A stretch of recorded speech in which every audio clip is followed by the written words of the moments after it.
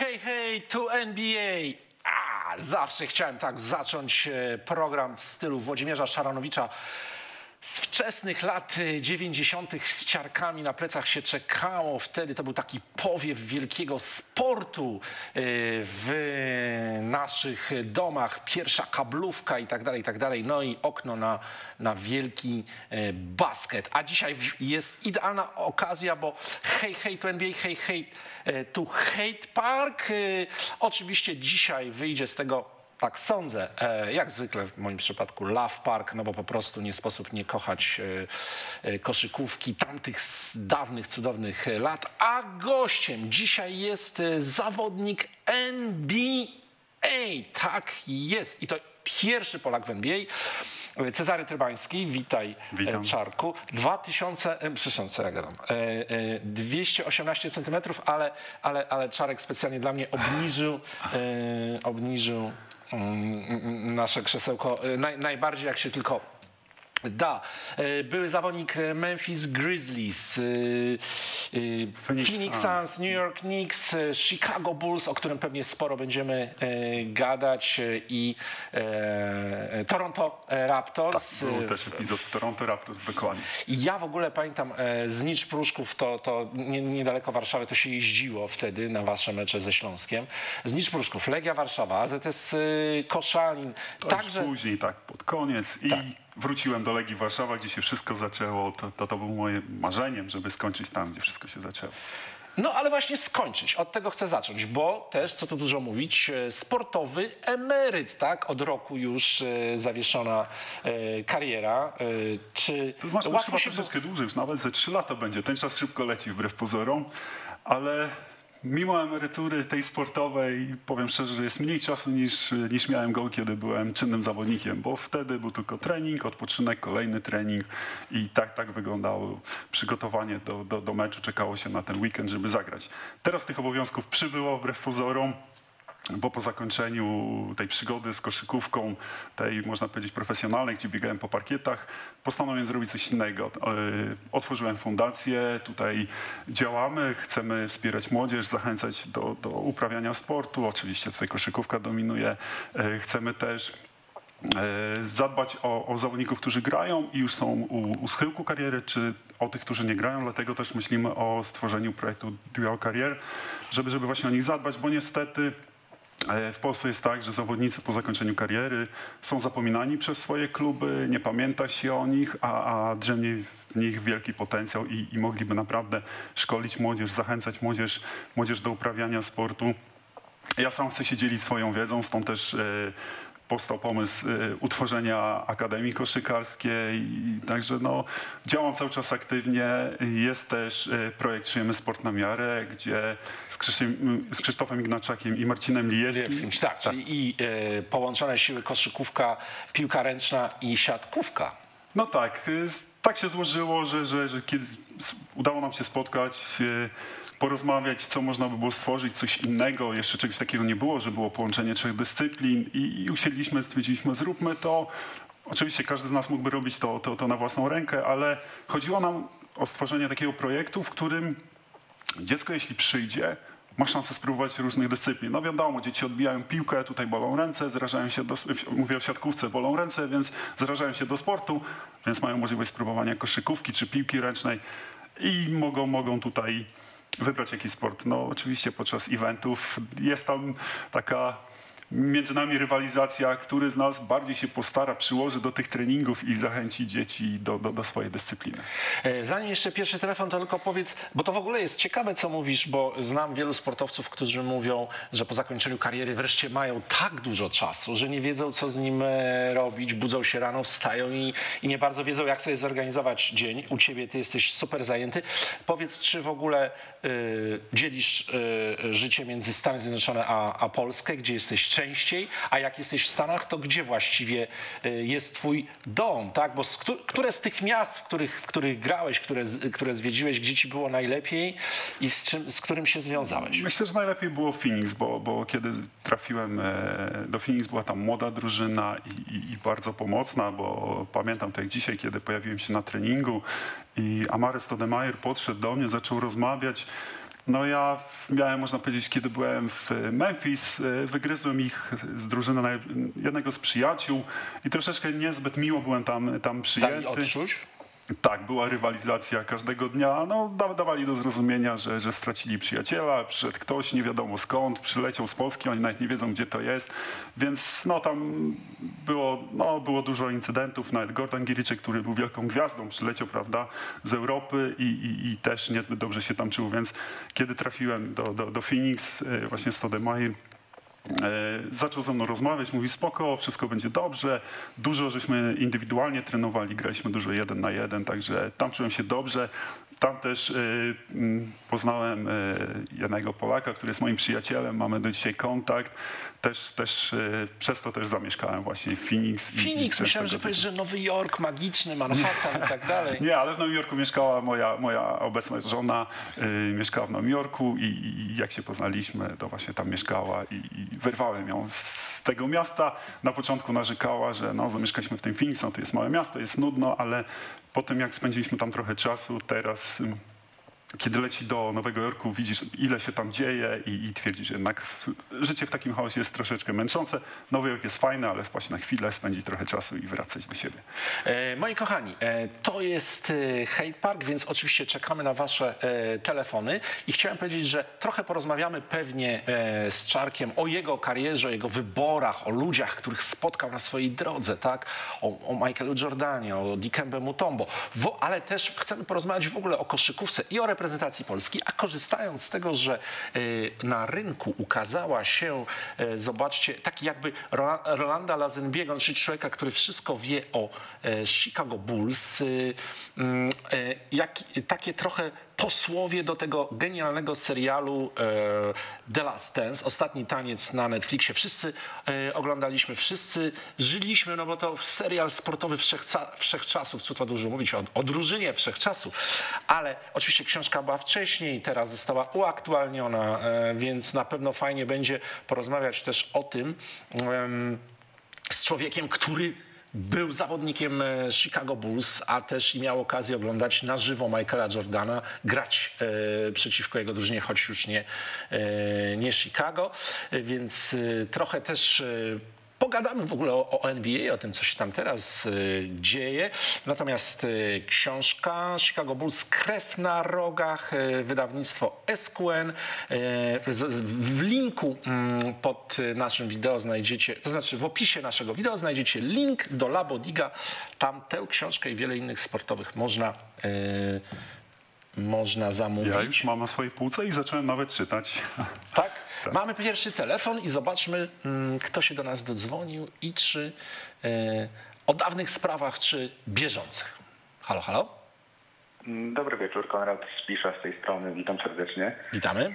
Witamy. Ja mam takie dwa szybkie, może trzy szybkie pytanka do pana Cezarego. Prosimy Jak bardzo. z pana perspektywy wyglądał cały transfer do NBA? Jak to pan widział własnymi oczami? Yy, Nie wiem, piątka najlepszych graczy, z którymi pan grał w jednej drużynie, we, znaczy we wszystkich drużynach taką najlepszą piątkę. No i jakieś, nie wiem, ciekawe sytuacje z parkietu, z szatni.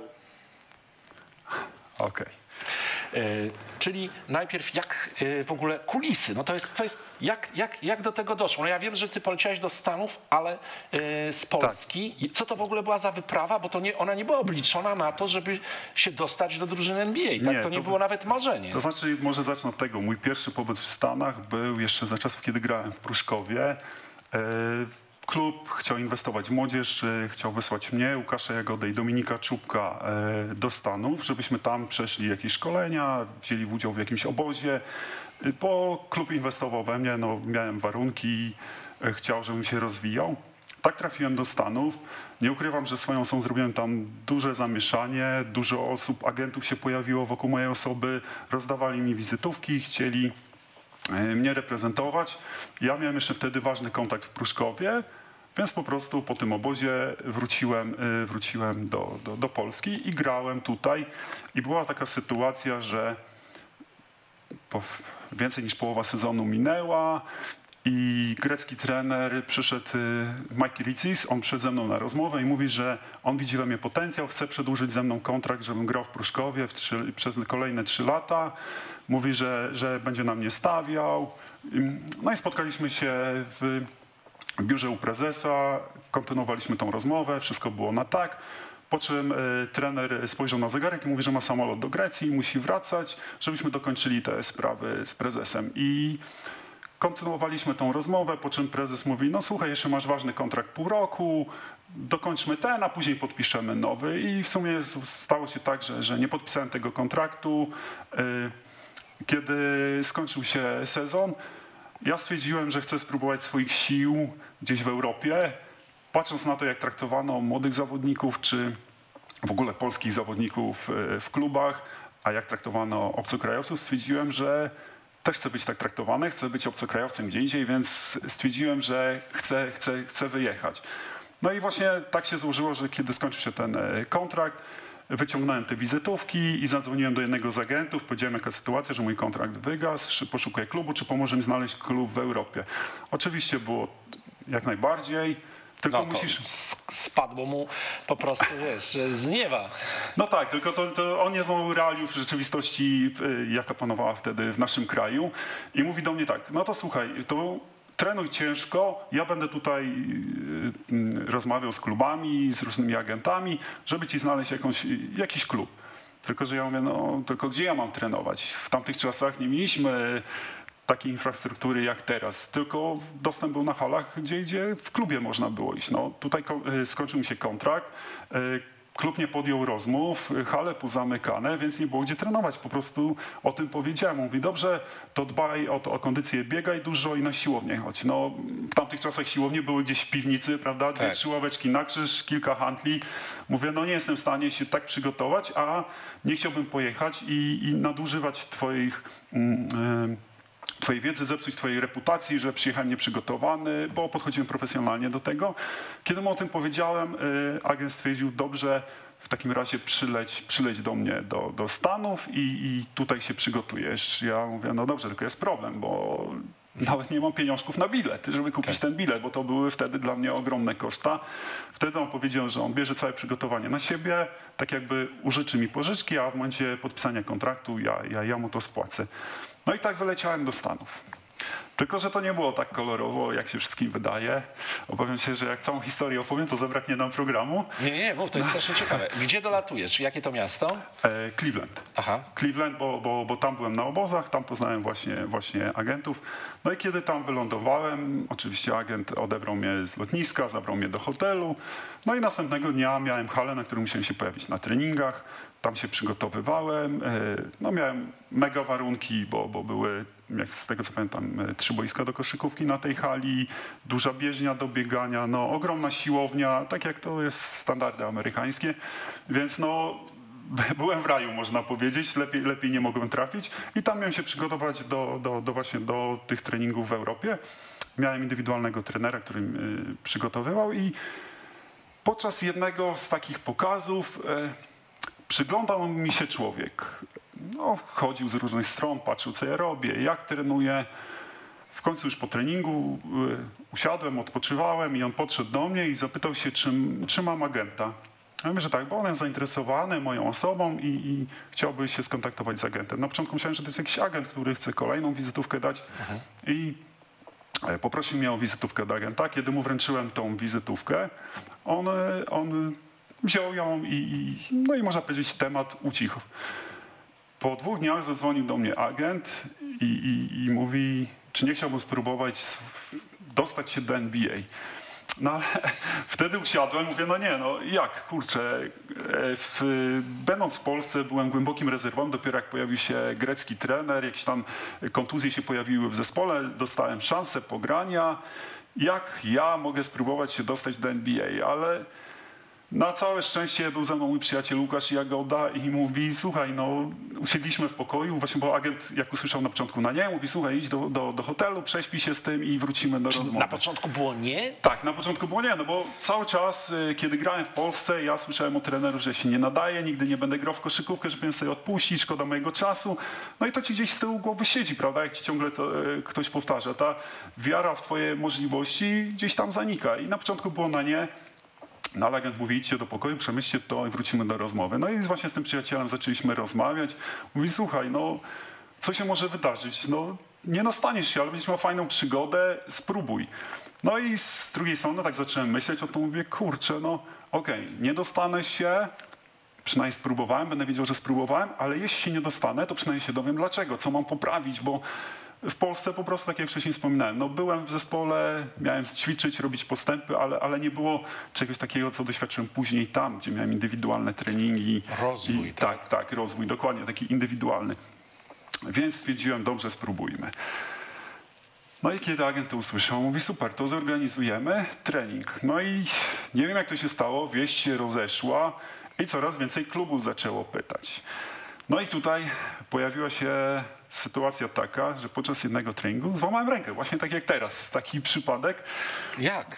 No, już y, bardzo ciężko tam trenowałem, żeby się przygotować w ogóle do tych y, treningów pokazowych w Europie i już na zmęczeniu wykonywałem ćwiczenie i się pot, potknąłem i up- upadając podparłem się i jeszcze zrotowałem ciało i doszło do złamania. No i tutaj pojawił się problem, bo co teraz? Trening ma być za niecały miesiąc, a ja jestem połamany. Więc wszystko, można powiedzieć, legło w gruzach.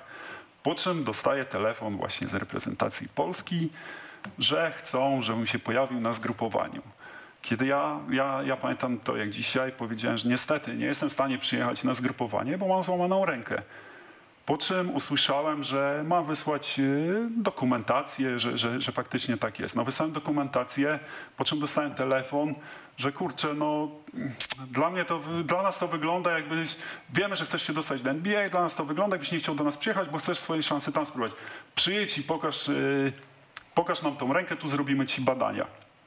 No kiedy to usłyszałem, na początku mówię, no nie ma takiej możliwości, nie mam biletu, za jak zapłacicie za mój bilet, ja polecę i ten. No to usłyszałem, że nie, będę zawieszony, skoro się nie pojawię, to będę zawieszony e, w, w, no, w rozgrywkach w Europie i nie będę mógł grać.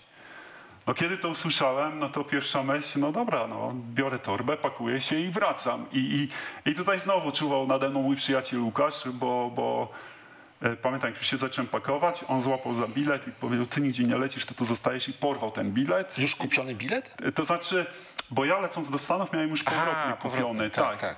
I on, on po prostu leżał. Ja jeszcze nie wiedziałem, czy z niego skorzystam, czy nie, ale no tak, tak, tak był kupiony. I, bo, I kiedy porwał ten bilet, ja, ja już wtedy stwierdziłem, że Wszystko na jedną wszystko kartę. tak, na, na jedną kartę. Z tyłu głowy było to, że mogę być zawieszony, a koszykówka była moją pasją, moim całym życiem, więc stwierdziłem, że, że nie mogę do tego dopuścić, że nie będę, nie będę grał. No i zaczęło się z zdjęcie gipsu. Jeszcze agentowi udało się przełożyć ten e, e, trening. E, powiedział, że jestem chory i potrzebuję troszeczkę czasu, żeby dojść do siebie i, i, i udało mu się przeciągnąć to w czasie.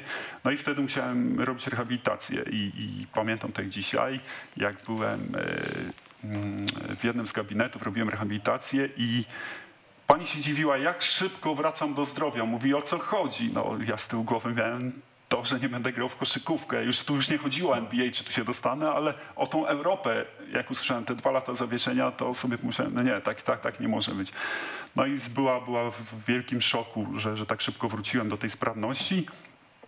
Udało się wrócić jeszcze y, do tych treningów przygotowałem się z takim ochraniaczem na ręku, a później już, już na, na ten trening musiałem to zdjąć, bo niestety kluby od razu by źle na to patrzyły. No i tam przeszedłem trening. e, Było. To był Jeden. trening czy mecz? Nie, to był trening pokazowy. Było 11, y, 11 skautów przyjechało. Z trenerami niektórzy byli, ale, ale było głównie, głównie skauci byli. I ja robiłem trening, który prowadził właśnie trener, który mnie przygotowywał. Po czym tam była taka część właśnie, że on prowadził ten trening, ja to wszystko robiłem. To były różne manewry, rzuty. I była sytuacja, że później po tym miałem chwilkę przerwy i każdy z tych scoutów, y, tych menadżerów klubów miał mi pokazać jakieś ćwiczenie, które ja miałem wykonać. Wymyślali przeróżne ćwiczenia, które ja robiłem. Byli pod wielkim wrażeniem mojej motoryki, mojej skoczności, bo często to powtarzali, i to nie, nie, nie były słowa jednego skauta czy, czy, czy trenera, że jak na swój wzrost jestem naprawdę mobilny i skoczny. Najczęściej yy, centrzy, którzy byli mojego wzrostu, byli bardzo powolni i, i to zrobiło na nich ogromne wrażenie. I pamiętam już, już sytuację, kiedy dobiegł y, trening y, do końca, już byłem taki naprawdę mega zmęczony. I jeden z skautów wstał i mówi: Słuchaj, poprosimy cię, żebyś doskoczył. Taka, jak była hala, powiedzmy, tak jak tutaj są, jest to oświetlenie, mhm. tam, tam, są, y, tam jest taka bieżnia dookoła i, i, i do tej bieżni, żebym doskoczył. No kurczę, ja pamiętam wtedy piłem wodę, przyszedł do mnie ten trener i mówi, słuchaj, musisz to zrobić. Ja mówię, ale ja już nie mogę, moje nogi już odmawiają posłuszeństwa. No ale musisz przynajmniej spróbować. No. Wróciłem na tą halę, wziąłem rozbieg, wyskoczyłem, uderzyłem, był hałas. Mhm. Oni zerwali się z krzesełek, podbiegli i, i nie wierzyli, że, że faktycznie tak było, że, że ja dotknąłem tej ściany i nie mogli w to uwierzyć. Y, zaczęli tam odmierzać to stwierdzili, że, że pewnie raz to mi się udało, że nie powtórzę tego. No i znowu kolejna próba. Tak jak mówię, łydki już tutaj się paliły, już, już miałem dosyć, już chciałem iść po prostu do pokoju, ale poproszono mnie, żebym to powtórzył. Zrobiłem, udało się po raz drugi, powiedzieli, że to im wystarczy, dziękują, mogę iść do szatni. No i wtedy trwały rozmowy z moim agentem. Pamiętam, to trwało około dwóch dni, po czym okazało się, że dziewięć z tych drużyn chce mnie widzieć u siebie, u siebie na treningach pokazowych. No i później musiałem, musiałem, to znaczy musiałem, dla mnie to była przyjemność odwiedzić wszystkie te kluby. Wszystkie prawda? dziewięć klubów? Tak, wszystkie Możesz dziewięć klubów. je e, powiedzieć, które, czy to jest... E, to znaczy, kurczę, żebym nie, nie chcę skłamać teraz, bo to, to, to już było odległe. Mam gdzieś, mam gdzieś tą, tą, tą całą rozpiskę, które to kluby były. Wiem, że to była Minnesota, Cleveland, Nowy Jork był... E, Sacramento było, no już tutaj nie, nie, chcę, nie chcę skłamać e, wszystkich, no ale no, no, no było tego trochę. E, słuchaj, kapitalna opowieść, tylko właśnie się tak zastanawiam, że a, pierwsze pytanie, aczkolwiek może kluczowe podczas takiego spotkania, jak w ogóle doszło do tej, do początku tej przygody, że, że, że zostałeś pierwszym Polakiem w NBA, więc za chwileczkę do tego wrócimy. Zobaczmy tylko, czy jest może kolejny telefon. No wiem, że, że jeszcze tak, były dwie jeszcze odpowiedzi. Dwa pytania. Ja w ogóle, ja w ogóle sobie e, też, bo mamy taki mm, mm, tutaj e, fragment w dobrym składzie dla, dla naszego e, partnera Okocimia i wtedy pytamy właśnie o dobry skład. To tutaj widz zadał pytanie o najlepszych piątkę, najlepszych zawodników, z którymi grałeś. Tak, Byłeś z którymi, z którymi byłem w drużynie. No to tutaj tak. już padło. Dikembe Mutombo, tak.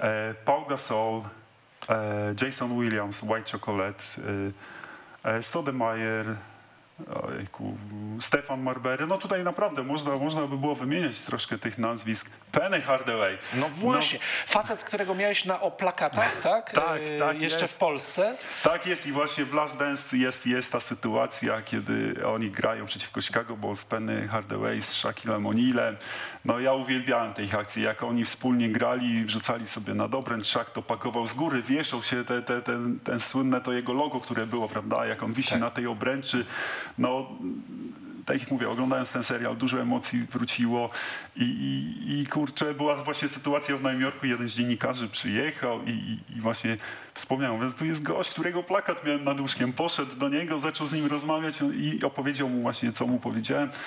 No i pan Hardaway mówi, nie, no niemożliwe, no ale po co ci mój plakat? I zaczął się śmiać. No ale dla dzieciaka, który, który dorastał y, w, na warszawskim osiedlu, prawda, to słynne hej, hej, ty NBA by było marzeniem każdego.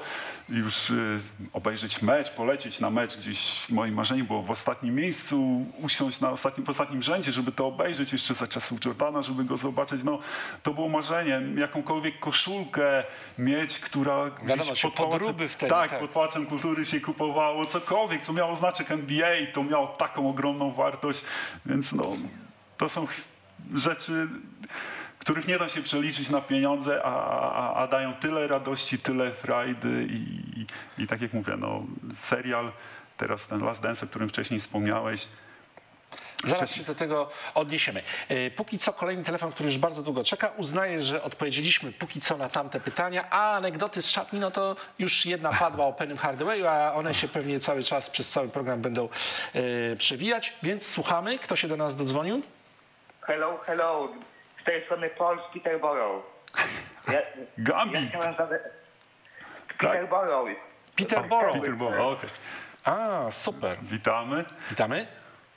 E, Chciałem zadać e, takie trzy szybkie pytania. E, Po, pierwsze do pana Cezarego. Czy nie uważa pan, że Stany Zjednoczone są krajem, który jest fajnie odwiedzić, ale mieszkanie tam jest dość ciężkie i życie jest trudniejsze niż w Wielkiej Brytanii? Teraz taki, taki przykład, kiedy dostałem ofertę pracy, bo jestem inżynierem, tam w Stanach Zjednoczonych i chcieli tam z relokacją i, tam, i tak wyszło, że tam w obcym kraju chcieli płacić mniej niż w Londynie. I był problem z tym. I się zdziwili, że ja nie chcę do Stanów Zjednoczonych pojechać. Ale to taka anegdota e, szybka, ale będzie pytanie, bo był taki format rewolucyjny piłka nocna, panie Michale. I czy on wróci, czy e, może został już zakończony? Rozważamy. Ale- Rozważamy. A Jeszcze nie ma decyzji. A, ja chcia, a chciałbym jeszcze taką odezwę do, odezwę do czatu. Wszyscy, którzy e, chcą mnie zhejtować, to bardzo proszę oznaczyć tam e, tego S i Paul z Peterborough, e, za- zamiast pisać coś, tak, jakieś ru- ru- rude messages na czacie, to może byśmy się w jakąś dyskusję wdali. Bo na razie to robią sobie państwo jako społeczeństwo polskie tą reklamę jako tolerancyjni ludzie. Chciałem pozdrowić wszystkich e, kulturalnych widzów i prowadzących. Pozdrawiamy również Dziękuję, e, również serdecznie. pozdrawiamy. Pozdrawiamy Peterborough. Jeśli chodzi o, o to płacenie, to pod- podejrzewam, że jednak koszykarzom płacą lepiej w NBA. No niż- właśnie, dlatego chciałem do tego nawiązać, że mi trudno się odnieść do tego, jak się żyje w Stanach, bo ja troszeczkę inną drogę przeżyłem, więc nie mogę się porównywać takiego statystycznego człowieka, który, który tam mieszkał. Zresztą moja żona, tak jak ona wcześniej mówiłem, mieszkała w Stanach. Miała troszeczkę inne życie niż ja i, i, i zawsze sobie to porównywaliśmy i ona, ona często mi to mówiła, ale ty nie możesz się porównywać i miała rację, ja się z tym zgadzam. Ale nie pytam o ten rok, bo wiadomo, ten jest pokręcony przez e, pandemię, lockout i tak dalej, i tak dalej, ale generalnie więcej czasu spędzasz e, w Polsce czy w Stanach? To znaczy tak, e, wiadomo, że jak grałem, to byłem w Stanach, bo tam, No tak. tam miałem kontrakty. Później jak się skończyły kontrakty w Stanach i jeździłem po Europie, no to sezon był w Europie. Na wakacje na chwilę przylatywałem do Polski, żeby spędzić trochę czasu z rodziną i później uciekałem do Stanów, gdzie przygotowałem się do kolejnych sezonów. Po zakończeniu tej przygody z koszykówką e, siedziałem w Stanach przez 7 miesięcy. Brakowało mi właśnie tego sportu. To był taki przełom. Te 7 miesięcy codziennie spędzałem praktycznie na siłowni przez 5 dni w tygodniu na początku, później czułem zmęczenie, więc troszeczkę to ograniczyłem. No i potem wróciliśmy właśnie do, do, do, do Polski, gdzie powstały te projekty, te, te działania i, i one teraz mnie bardziej wiążą, że więcej czasu spędzam w Polsce, choć się zdarza się, zdarza co roku praktycznie na zimę uciekam właśnie do Phoenix, gdzie jest ciepło, a, a w tym roku, tak jak wspomniałeś, no ta pandemia troszeczkę krzyżuje plany, więc nie wiem, jak będzie wyglądała sytuacja. Mamy kolejny telefon, od razu e, się połączmy. Halo, halo, Witam serdecznie. witamy. E, Filip Skutna. O, proszę bardzo. Witamy. Panie Filipie, z czym pan do nas dzwoni? Z jakim pytaniem? E, Mam e, kilka pytań do pana Cezarego. Proszę, Słuchamy. proszę E, bardzo. Tak, pierwsze moje pytanie jest takie, czy z pańskiej perspektywy Chicago Bulls nie zapadło na taką chorobę Jordana? Chodzi mi tu o to, że gdy grali razem z Scottie Pippenem, a trenerem był Phil Jackson, to to zdobywali sukcesy, no i to jakby, czy to jakby y, y, wpłynęło na to, to naznaczenie swoją obecnością w tym klubie, że y, nie, zdoby, że nie zdobywają cały czas, nie zdobyli od tego czasu trofeów. To znaczy, pytanie. ja powiem tak, ja dorastałem w tych czasach Hey Hey to NBA, Jordan był wielką gwiazdą, oglądałem jego akcje, sam później wychodziłem na podwórko, próbowałem go naśladować, więc no, no myślę, że on jest jakąś tam postacią kultową, zawsze chyba tylko z tym klubem jest kojarzony, tam zdobywał te, te, te najwyższe cele, ale myślę, że na to, że właśnie wtedy zdobywali te, te mistrzostwa, składało się wiele czynników właśnie, zawodnicy, trener, działacze, wszyscy chcieli wygrywać to, co było w Last Dance pokazane, czy jest opisane w tej książce, gdzie, gdzie Jordan e, robi presję na wszystkich zawodnikach, uczy ich tego wygrywania, e, radzenia sobie z presją i to cały czas jest podkreślane. Więc myślę, że tutaj te wszystkie czynniki musiały się na to złożyć, bo, bo sam, sam na pewno tych mistrzostw by nie No wygrywał. właśnie o to chciałem zapytać, bo i z tej książki, jak się ją czyta tak dogłębnie, Scottie Pippen, którego zresztą przecież poznałeś, tak? Nie wiem na ile dobrze, to zaraz opowiesz, jest takim wie, wielce niedocenionym. Ja myślę, że nie wiem ile, czy uważasz, że w ogóle jakikolwiek z tych sześciu tytułów e, Chicago zdobyłoby i Jordan e, bez Scottiego, Scottiego Pi- Pippena. On był absolutnie, no, wyrasta tutaj na zawodnika, patrząc na jego statystyki, to co on osiągnął na Chicago. A, ten jego haniebnie niski kontrakt, że on miał w sobie motywację, żeby grać na takim poziomie, wiedząc, że tam jest przedostatnim chyba w drużynie zarabiającym i, i potem wypychany przez Jerego Krause e, już z drużyny. E, No szalenie taki niedoceniony i też nie wiem, czy w historii należycie doceniony Scottie Pippen. To znaczy, no Jordan cały czas podkreślał, że to był jego człowiek, bez niego by tego nie osiągnął, więc, więc to jest fajne, że, że, że on to docenia. I myślę, że bez niego to Chicago nie byłoby takie samo. A wracając do tego kontraktu, no faktycznie e, był to niski kontrakt, ale te płace skoczyły akurat wtedy, kiedy on miał podpisany kontrakt. On, on, on wziął to ryzyko na siebie, że podpisał kilkuletni kontrakt, gwarantowany, więc te pieniądze mu się należały, bez względu czy by złapał kontuzję, czy nie.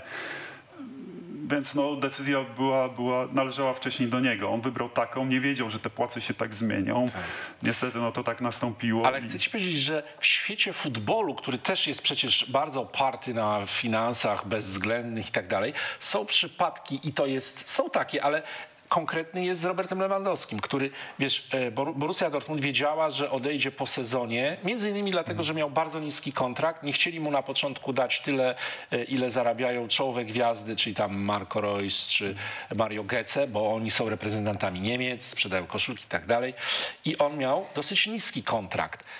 I nie, pod, nie przedłużył. Yy, yy, wiadomo było, że odejdzie do Bayernu, ale w, za, w uznaniu zasług na ten ostatni sezon, mimo że wiedzieli, że odchodzi i tak mu dali, chyba to było 7 milionów euro za sezon, mimo, no żeby docenić wszystko to, co zrobił. I tego mi zabrakło, no, no wiesz, Jerry Reinsdorf, no mil, miliarder, tak? No tak, no właśnie, ale on- Jakaś taka dziwna skąpstwo tego, żeby nie docenić swojego, swoje, swojej, swojej gwiazdy, bo a, był głupi i podpisał z nami mm, kontrakt taki, wiesz, niski, to już go jedziemy, no sorry stary, chcesz, musisz grać tutaj dla nas. znaczy, Trochę myślę, tak, mm, jak Ja- z niewolnika troszeczkę. Ja myślę, że, że mógłby z nim podpisać nowy kontrakt, tylko tu chodziło o to, że tam był. Każdy z nich chciał być liderem i on powtarzał, że, że, że e, to klub zdobywa zwycięstwa, a nie, a nie zawodnicy. I tutaj powstał ten konflikt. I, I myślę, że on po prostu chciał wymienić skład i pokazać, że to on zbudował to Chicago i może nowe zbudować. No i niestety mu się nie udało. Bez. E, Filipie Skutna, jesteś jeszcze z nami, to poproszę cię o jedno pytanie, nie więcej, żeby dać szansę innym e, dzwoniącym. No dobrze, to e, trochę pójdę trochę takim lokalnym. Czy miał pan propozycję gry w Orfarmexie Kutno w klubie i czy w ogóle, e, czy pan występował przeciwko naszemu klubowi, no bo jednak e, u nas była taka fala, e, e, fala na koszykówkę i graliśmy w najwyższej klasie rozgrywkowej. To, to chciałem się tylko zapytać. Kurczę, powiem szczerze, że propozycji nie było, to wiem, ale czy grałem, tego sobie nie przypominam. Czy, czy, czy grałem? No, to musiało być dawno, jeśli, jeśli, jeśli grałem, ale tak jak mówię, no nie, niestety nie pamiętam tego. No nic, y, bardzo lokalnie zapytałeś e, Filipie, ale rozumiem, że znów chcesz e, trafić do mediów w Kutnie, tak jak już to miało miejsce y, y, wcześniej. To wróćmy, e, zanim kolejny telefon, e, to jesteśmy przy twoim początku. Dlaczego wtedy wybrałeś e, Memphis Grizzlies? Czy były lepsze oferty na stole? Czy mogło być, mógł być inny wybór? E, Tak, e, z tych dziewięciu klubów było dziewięć kontraktów i, i, i pamiętam, kiedy agent mnie poprosił do swojego biura, leżało dziewięć kontraktów białą stroną do góry, były tylko wypisane drużyny i chciał przedyskutować ze mną, nie patrząc na, na, na kwoty, na lata, jak wyglądał ten kontrakt, nie, nie, nie patrzyliśmy. I e, po prostu, no na przykładzie Sacramento powiem, tam e, e, miałem propozycję właśnie gry, ale od razu tam było powiedziane, że nie ma dla mnie miejsca w składzie, będę po prostu trenował i, i, i- tego typu rzeczy padały. W drugim mówił e, na przykład na, na rok, jest kontrakt. W Memphis e, powiedział, że kontrakt jest na 3 lata. Jest szansa, że będę walczył o miejsce w składzie, bo jest młody zespół. E, e, potrzebny był center, no wtedy jeszcze był Paweł Gasol, e, który grał jako czwórko-piątka i, i, i- on był rookiem od więc no, tutaj była ciężka rywalizacja, ale dzięki temu dużo się od niego nauczyłem. Ale, ale tak jak mówię, no, przekonało mnie to, że właśnie była szansa, żeby, żeby tam powalczyć o, o swoje A minuty. te inne, jak potem sprawdziliście to finansowo, to Memphis było najwyższe, czy Powiem były? szczerze, że nie chciałem tego wiedzieć, więc Aha. prosiłem agenta, żeby Czyli mi w ogóle się nie mówił. kierowałeś kasą, tylko możliwością gry i, e, i rozwoju. A może w takim Sacramento e, dostałbyś indywidualnego trenera, e, trenował sobie, mieszkał w San Diego, czyli najpiękniejsze miejsce do życia w Kalifornii. E, Nie, Sacramento to nie, Sacramento? nie. Sacramento? Kingston, nie, nie, nie, to nie E, jest. A, to Golden State, tak. przepraszam, pomyliłem. To nie jest, ale, ale powiem tak, nigdy nie rozważałem tego w ten sposób. Ja od zawsze uwielbiałem, to znaczy od zawsze, od pewnego czasu, czyli kiedy te boom było na koszykówkę, zaraziłem się tą pasją i chciałem grać. Ja patrzyłem przez ten pryzmat, że trafię do najlepszej ligi, że będę mógł grać przeciwko najlepszym, spełni się moje marzenie i, i, na, tym, na tym się tak naprawdę skupiałem. No i też, też zdawałem sobie z tego sprawę, właśnie agent o tym mówił, że tu jest szansa powalczyć o, o, o miejsce w składzie, a tam mogę ni- nigdy nie dostać tej, tej szansy i nie wiadomo jak, jak to będzie wyglądało, więc skupiłem się na tym. Kolejny telefon. My jeszcze będziemy kontynuować ten wątek, ale e, damy wam szansę zadania pytania. Halo, halo. Halo, witam serdecznie. E, Ziemo z Krakowa. Witamy. E, Witam pana, panie Michale, panie Cezary. E, Mam takie pytanie. Nie wiem, czy jest ono ciekawe, ale zastanawiam się, czy nie fajnie by było być może, nie wiem, spłodzić syna i się zastanowić, czy takiego chłopaka nie popchnąć w kierunku jakimś sportowym, gdyby oczywiście miał na to ochotę. I zastanawiam się, jak, jak to potraktować w kontekście koszykówki, to znaczy To znaczy, podejrzewam, że możliwość wysłania, e, zrobienia jakiejś kariery w NBA i zawodnika na pozycji e, nie centra, tak, jest, jest to utrudnione. I moje pytanie jest takie, czy e, jakie są tak naprawdę szanse, żeby taki młody chłopak z Polski na pozycji 1, 2 czy 3 e, się przebił, prawda, e, może nie tyle w Stanach Zjednoczonych, ale na przykład w Europie, biorąc pod uwagę, jakie jest szkolenie, jak to wygląda u nas w Polsce. I mam tak naprawdę tylko to jedno pytanie i chciałbym tylko pozdrowić pana Majchrowskiego, prezydenta Krakowa, który, no, z którym tutaj e, e, tak, tak bardzo prosimy o to, żeby, żeby, żeby zapalił światło w Parku Jordana, żebyśmy mogli późniejszą porą pograć w kosze. Dzięki wielkie. A, to Tak, przychylamy to prosimy, się do... tak, prosimy pana prezydenta, żeby te światło włączył. Ale to jest bardzo bo, dobre pytanie. Bo trzeba, Naj- trzeba się rozwijać. no. Najpierw, je- najpierw wyobraźmy sobie, że przychodzi do ciebie, przychodzą rodzice i mówią, jaka dyscyplina, czy posłać nasze e, dziecko, czy y, polecasz koszykówkę, czy mówisz, no piłka nożna, albo y, z twoich partnerów y, sport szyty na miarę, raczej siatkówka, zobaczcie jaka popularność w Polsce. To znaczy czy- tak, czy- ja powiem szczerze, że, że nigdy nie namawiam do konkretnej dyscypliny, namawiam do uprawiania sportu. I dziecko będzie miało czas, y, czas podjąć tą decyzję. Tu mogę powiedzieć na przykładzie mojego młodszego brata, bo między mną a moim bratem jest 11 lat różnicy. Kiedy ja trafiłem do klubu w Stanach, on grał w piłkę nożną, trenował piłkę nożną, całkiem nieźle mu szło, ale trenerzy widząc, że jestem wysoki, że wyjechałem, stwierdzili, że on też podrośnie, on też powinien grać w koszykówkę. No i miał pranie mózgu, można powiedzieć. I pamiętam, kiedyś zadzwonił do mnie i pyta się, co ma zrobić. Ja mówię, ale co ci sprawia frajdę, koszykówka czy piłka nożna? On mówi, piłka nożna. Mówię, to graj w tą piłkę nożną. No i minęły dwa lata. Dzwoni do mnie, słuchaj, bo spróbowałem tej koszykówki i, i zaczyna mi się to, to podobać. Co ja powinienem zrobić? No, skoro chcesz grać w koszykówkę, ci się to podoba, graj w koszykówkę. No i był taki moment, że grał i w piłkę nożną, i w koszykówkę, a później przerzucił się na koszykówkę. Także ja myślę, że po prostu aktywność to jest najważniejsze, żeby aktywnie spędzać czas, y, jakąkolwiek dyscyplinę uprawiać, a na tą zmianę zawsze może być. A od strony, że tak powiem, kariery, tak? Czy koszykówka to jest dzisiaj dobry wybór dla młodego e, chłopaka w Polsce? Od strony No. życiowego ułożenia sobie życia. To znaczy, powiem tak, z perspektywy czasu, patrząc na, na, na, na moich kolegów yy, w tamtych czasach, którzy grali, no większość z nich po zakończeniu kariery musi coś dalej robić. Nie są to takie zarobki, jak są w NBA, prawda, gdzie zawodnicy kończą tą e, karierę i, i, i sobie robią, co chcą. Niestety. A 70% czytałem bankrutuje. Tak, to jest tak, no nie, niebywałe, że no tak. taka... W ogóle to dotyczy sportowców w Stanach, tam bokserów, No tak, no przyzwyczajają się do tego standardu życia, jaki, jaki, jaki mieli podczas e, grania, kiedy co, co miesiąc to konto, na konto wpływały jakieś kwoty, a, a przychodzi taki moment, że to granie się kończy, oni myślą, że te, te pieniądze zawsze tam będą, one wypływają z konta, a nie wpływają, więc stąd się Z to tym bierze. Januszek życzliwych zawsze, którzy się doklejają Dokładnie. e, do Dokła- dokładnie tak jest. Dla- sportowca. Y, Kolejny telefon. My jeszcze wrócimy. Jest dużo wątków, do których trzeba wrócić. Halo, halo. Halo, dzień dobry. Dzień dobry. Dzień dobry. Z tej strony Dawid z Krakowa.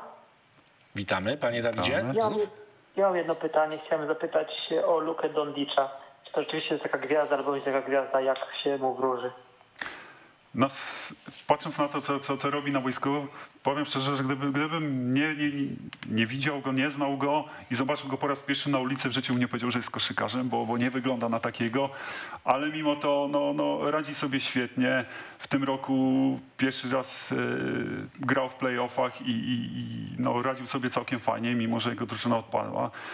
Zresztą pokazywał wcześniej, wcześniej w Europie to, co, co wyprawiał, grając dla reprezentacji. No, miał świetne mecze. Myślę, że, że, że ma wielki talent i, i no już pokazał y, w, ostatnich sezonach, że, że, że idzie mu całkiem nieźle, więc myślę, że, że teraz tylko będzie, będzie się coraz lepiej rozwijał, bo najtrudniejszy jest ten pierwszy rok. Jeśli się zaadoptuje zawodnik i, i wdrąży w zespół, to, to, to później może być tylko lepiej. Przy okazji e, pytanie z czatu od Rokiego. Kto jest obecnie najlepszym Europejczykiem, europejskim koszykarzem na świecie? Europejski koszykarz na świecie. Ojejku. Trudne, trudne pytanie. No, Luka Doncic teraz pokazuje, no, wiadomo, no, Nowicki był, prawda, Gasol, ale to, to są e, roczniki, które grały, kiedy, kiedy ja, ja, ja, ta, ja byłem w tej lidze. No. Halo, halo, jest pan jeszcze z nami? Już pana nie ma. To y, y, y, fajny był ten wątek y, y, tego, co mówiłeś właśnie o. no bo nagle po- podpisujesz kontrakt pod, i pojawiają się olbrzymie pieniądze, takie, o których pewnie nie marzyłeś, tak? Wtedy nie mając, No tak. mówiąc do agenta, że nie masz nawet pieniędzy na bilet lotniczy. I czy to ci uderzyło y, do głowy? Czy ty też mm, no, miałeś jakieś z, z hamulce zabezpieczenia? Czy też poszedłeś grubo, jak pierwsze przelewy Nie, zaczęły nie, przychodzić? nie. Ja, ja nie szalałem. Zresztą miałem e, agenta, który, który bardzo mi pomagał w tych sprawach. Jak Czy w inwestować ogóle ten agent okazał się strzałem w dziesiątkę, tak? Wiedziałeś czyją, bo rozumiem, miałeś kilkanaście wizytówek i którą już musiałeś wybrać, tak? Tak, tak. No akurat na tego trafiłem. E, Tak wyszło, że, że no, no, nie wiem, czy wszyscy agenci tak działają w Stanach. E, Tego nie mogę powiedzieć, ale ja akurat trafiłem e, dosyć dobrze, bo wiem, że są agenci, którzy oszukują, okradają swoich zawodników. U mnie nic takiego nie miało miejsca. Poza tym e, Liga NBA w pierwszym roku organizuje taki Rookie Orientation Program i tam nas przestrzegają właśnie przed takimi sytuacjami, jak powinniśmy się zabezpieczyć, że inwestować te pieniądze na przyszłość. Właśnie to, o czym wcześniej wspomniałeś, zawodnicy zarabiają po 80 milionów e, w ciągu kariery, a później nie, ma, nie mają za co żyć. I ja grałem przeciwko takim zawodnikom później w D-League, którzy po prostu żeby mieć pieniądze na przeżycie, grali na zapleczu NBA. Y, Notabene powiedz, jak się nazywał ten agent i czy dalej funkcjonuje, dalej jest... y, Tak, e, Mark Termini. Tak, on I, jest dalej. I ma agentem. na, zawodników w NBA swoich? Ma, nawet LeBrona Jamesa prowadzi. Nie no, nie żartuj. Tak. Ma, ten sam agent, Tak, który jest agentem sam, Le, tak. LeBrona Jamesa. Prowadzi Jak w ogóle teraz- to się stało? Aha, bo to Cleveland, Tak, Cleveland. te okolice. Wow, no to nic nie mówiłeś, że czy w ogóle... To znaczy on, on później, on jakoś kilka lat temu dopiero go przejął, Aha. bo tam jakaś e, spółka powstała i, i, zaczął działać i, i reprezentował go. To powiedz jeszcze, największa ekstrawagancja, jaką sobie y, pozwoliłeś jako zawodnik NBA? Kurczę, wiem, że Marcin Gortat na przykład lubił tuningowane samochody. nie, nie, ja, nie, ja, ja, ja nie miałem tuningowanego sal, e, auta, ale po tak poszedłem, spełniłem swoje marzenie, kupiłem nowe auto z salonu i, i, i jeździłem. No to zdradź nam markę, co to było? E, To było Audi A8. Tak, Aha. tak to, to, to można było takie wariactwo. No, no i dom, dom dla rodziców, w którym rodzice mieszkali. To, ale to nie były szaleństwa, tylko można powiedzieć z perspektywy czasu, że dom to była dobra inwestycja. Auto można powiedzieć było Chwilowa, spełnienie chwilowy marzeń, kaprys, tak. jasne. E, kolejny słuchacz, halo, halo. E, Halo, słychać mnie dobrze? Bardzo dobrze, Bardzo prosimy. dobrze. Witam, Adam z Kalisza, z tej strony się kłania. Pytanie do Czarka. E, Czy, bo z tego co pamiętam, przepraszam za mój głos zakatarzony, miał przyjemność z Hubie Brownem pracować, gdyby mógł jakieś dwie, trzy może anegdotki o tym słynnym trenerze opowiedzieć. I drugi troszeczkę takie, żeby zostać w tej konwencji hejtu. Czy jakoś ciąży mu to, że zdobył łącznie w NBA 16 fauli i 15 punktów? I to by było tyle z mojej strony. Nie blokuję linii. Dzięki. Okej, anegdotki o kim miał być? E, o, o twoim trenerze. Hubie Brown. Tak. Tak mi, tak mi się wydaje. E, Hubie, e, Hubie Brown, no, kiedy tam się pojawiłem, był e, no, już wiekowym trenerem, można powiedzieć. e, I asystentem był jego syn. I, I pamiętam, była historia, kiedy pojechaliśmy na mecz e, z Phoenix Suns, tak, trenowaliśmy tam na arenie. I któryś z chłopaków rzucił z połowy piłką, z połowy boiska. Nie pamiętam, kto to był. Piłka się odbiła, trafiła trenera w głowę. Trener upadł, wtedy wszyscy zamarli. Syn podbiegł. Zaraz tam służby medyczne się pojawiły. Na szczęście nic poważnego się nie stało, ale, ale to był przykry incydent. Yy, Trener też, też wtedy mocno to przeżył, ale na szczęście ni- nic poważnego się nie stało. Także no, szczęśliwe zakończenie tej, tej, tej sytuacji było. E, Co do, co do punktów i, i statystyk, no myślę, że, że tutaj problemem było, tak jak wcześniej w rozmowie padło, że, że szkolenie kulało. U mnie też była troszeczkę skomplikowana sytuacja, bo, bo ja dosyć późno zacząłem trenować, bo w wieku 17 lat, więc ja tego szkolenia też tak do końca nie przeszedłem. No, miałem tam sytuację, że nie mogłem wcześniej uprawiać sportu. Nie chcę teraz się tutaj wdrażać w szczegóły, bo nie jestem jeszcze na to gotowy, żeby o tym mówić, ale, ale myślę, że, że kuleje u nas szkolenie. Z perspektywy czasu, patrząc na trzech zawodników, byłem ja, Maciej Lampę i Marcin Gortat.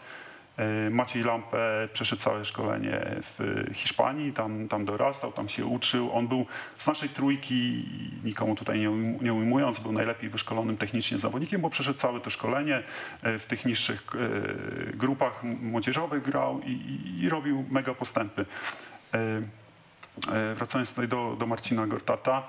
Marcin Gortat miał to taki sam przypadek jak ja. Zaczął dosyć późno i, i tak samo. Jesteś wysoki, może się przydasz, ale gdzieś sobie trenuj na boczne kosze. Dopiero kiedy wyleciał do, do e, pojechał grać w Niemczech. Tam, Tak. tam trenerzy się nim zaopiekowali, nadrobili te, dużo z nim pracowali, nadrobili zaległości, ogrywali go tam i można powiedzieć, że on po, poleciał do Stanów jako ukształtowany zawodnik. W moim przypadku było tak, że ja ciągle słyszałem, że się nie nadaje, bądź sobie w zespole i, i, i, i tak byłem. Ja, ja się cieszyłem, że mogę grać, yy, mogę, mogę, mogę trenować. No a później wyleciałem do Stanów, tam zobaczyli jakiś potencjał we mnie, na, na, nad którym szlifowa, y, który, y, nad którym pracowali i, i, i dla mnie, tak jak mówię, z perspektywy czasu y, spełniło się moje marzenie. Oczywiście chciałbym osiągnąć więcej, ale, ale no zabrakło czegoś. Może tego szkolenia, innych czynników tak naprawdę nie dostałem e, większego przedziału minut, szansy tak na, na, na dobrą sprawę dłuższej grania, ale nie mam, nie mam, no, nie wiem jak wybrać, ale właśnie, bo zacząłem tą książkę, mówiłem, czytać. Mam nadzieję, że uda mi się znaleźć cytat. Fajnie mi też się to spodobało. Właśnie autor o tym opowiada i powiedział coś tutaj, o, jest tutaj. ale brak umiejętności nie przeszkodził mi w grze z pasją w kosza przez całe życie. I mega mi się podoba ten, ten cytat. Ja, ja też się z tego cieszę, że przez większość mojego życia mogłem robić to, co kocham robić. Czyli uważasz, że y, ty z twoim wzrostem e, 2,18 i e, z tą motoryką, e, z, z koordynacją, gdybyś się urodził w Stanach, to i, i, i, i- od dziecka e, już tym, to, to, to mogłoby to się potoczyć zupełnie... Znaczy nie, no tak, tak, tak też, inaczej. też nie można powiedzieć, ale, ale na pewno gdyby, gdyby ktoś się przyłożył, więcej treningów, potrenował, nie mówię, że od razu bym zrobił nie wiadomo jaką karierę w NBA, ale, ale mógłbym tych minut y, dostać więcej. A czy dzisiaj żałujesz tego kontraktu z Grizzlies? To znaczy, że gdybyś poszedł w którąkolwiek inną opcję, to mogłoby być e, cokolwiek więcej, no pun- punktowo, czy... No dobrze, ale zakładając, że pójdę, poszedłbym do innego klubu Aha. I dzisiaj byśmy siedzieli tutaj i bym miał podobne statystyki, to byśmy mówili, a może mogłeś iść do Memphis Grizzlies. no Więc ja myślę, że tutaj nie ma, nie ma co rozpatrywać e, z tej perspektywy.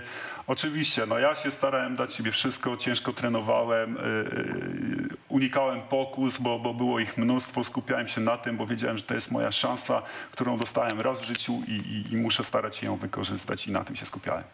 Kolejny widz jest z nami, prosimy bardzo. Dobry wieczór, dobry wieczór. E, Michał słyszy mnie? Słyszę, prosimy bardzo. Słuchaj, wielkie dzięki. Jestem, jestem niezmiernie śmieszny. Jestem niezmiernie śmieszny. Jestem niezmiernie szczęśliwy, że zadzwoniłem się do Was. E, pytanie do, do Czarka.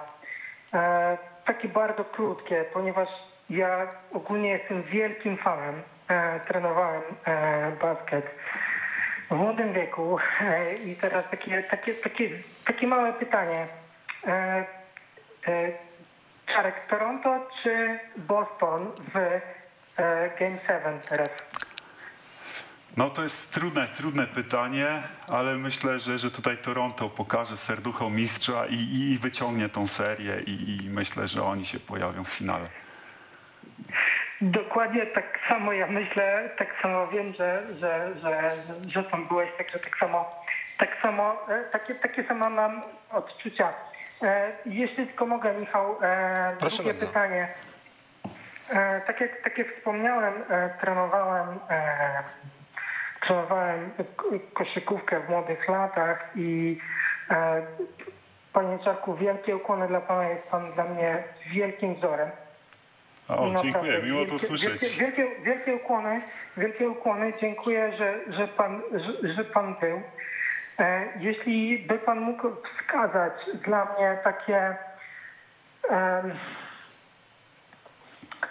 takie różnice pomiędzy e, trenowaniem, pomiędzy sztuką trenowania e, w Stanach Zjednoczonych, a w Polsce, Oczywiście bez, bez, bez żadnych tam, um, e, jakichś pikanych ale jak, jak, to, jak to jest? Okej, spróbuję to tak w skrócie powiedzieć. Przede wszystkim w tamtych czasach, kiedy ja byłem e, w lidze, kiedy tam się pojawiłem, to było bardzo dużo indywidualnych treningów. Jeśli chodziliśmy na siłownię, to nie mieliśmy czegoś takiego, że cały program, jedna e, drużyna robiła jeden program, tylko program był dla wysokich osobno, dla niskich osobno. Zawodnik, który miał słabe nogi, a silną górę, on wzmacniał nogi, a mniej czasu poświęcał na, na budowanie, wzmacnianie góry. Ci, co mieli silną górę, skupiali się na nogach, także to były indywidualne, indywidualne treningi. I myślę, że, że w tamtych czasach to była właśnie taka największa różnica. E, Skoro jesteśmy przy bieżących sprawach, to na czacie Michał Trześniewski pyta pytanie do pana Cezarego, czy jest zaskoczony tym, że Miami tak łatwo poradziło sobie z Milwaukee Bucks w półfinale konferencji wschodniej? No myślę, że tutaj to nie tylko ja jestem zaskoczony, ale, ale chyba Czemu tak się stało? wielu fanów y, koszykówki jest mega zaskoczonym, bo myślę, że ten Milwaukee y, było faworytem do, do, do finału i, i, i walki o mistrzostwo i, i no, wszyscy są tutaj mega zaskoczeni. Y, nie wiem, no, y, jak Giannis grał, to, to wszystkie mecze szły gładko, prawda? Kiedy on wypadł ze składu, udało im się wyszarpać to zwycięstwo, więc nie wiem, czy potrafią już, mają sposób na nich, że, że kiedy on wypadł ze składu, troszeczkę się pomieszało i udało im się wyrwać mecz, no ale później zaraz e, szybko zareagowali na to i, i poradzili sobie z nimi dość, dość łatwo. Jest, jest to mega, mega zaskoczenie chyba dla, dla wielu fanów. E, Pytają tutaj widzowie, czy w ogóle dużo oglądasz NBA e, mniej więcej w tygodniu? Powiem szczerze, że, że, że teraz troszeczkę mniej, a zwłaszcza po tym, co ostatnio się działo w tej bańce, te, te protesty. Myślę, że, że, że to jest troszeczkę nie, nie na miejscu, kiedy fani, no to jest NBA, to jest globalna marka, prawda? Na Tak. całym świecie fani oglądają. Nie wszyscy się interesują sytuacją polityczną, jaka panuje w Stanach, ale jeśli zawodnicy wychodzą i idą do szatni i, nie grają meczu, no to coś jest nie tak, uważam. Oni, oni dostają ogromne za to pieniądze i, i, i powinni wejść, zagrać. Jeśli chcą brać udział w jakichś protestach czy, czy wspierać jakieś akcje, niech to robią przed meczami, po meczach, ale, ale kiedy jest ten czas, kiedy powinni by, być na boisku, powinni się na tym skupiać. E, No, no właśnie, to jest bardzo dobra e, kwestia. Jeszcze za chwileczkę do niej e, wrócimy, do tego, co się w ogóle dzieje w Stanach i pandemia, i protesty. Ale jest kolejny widz. Halo, halo, to chcę mu dać szansę. Dobry wieczór, Radek z tej strony, z Koszalina.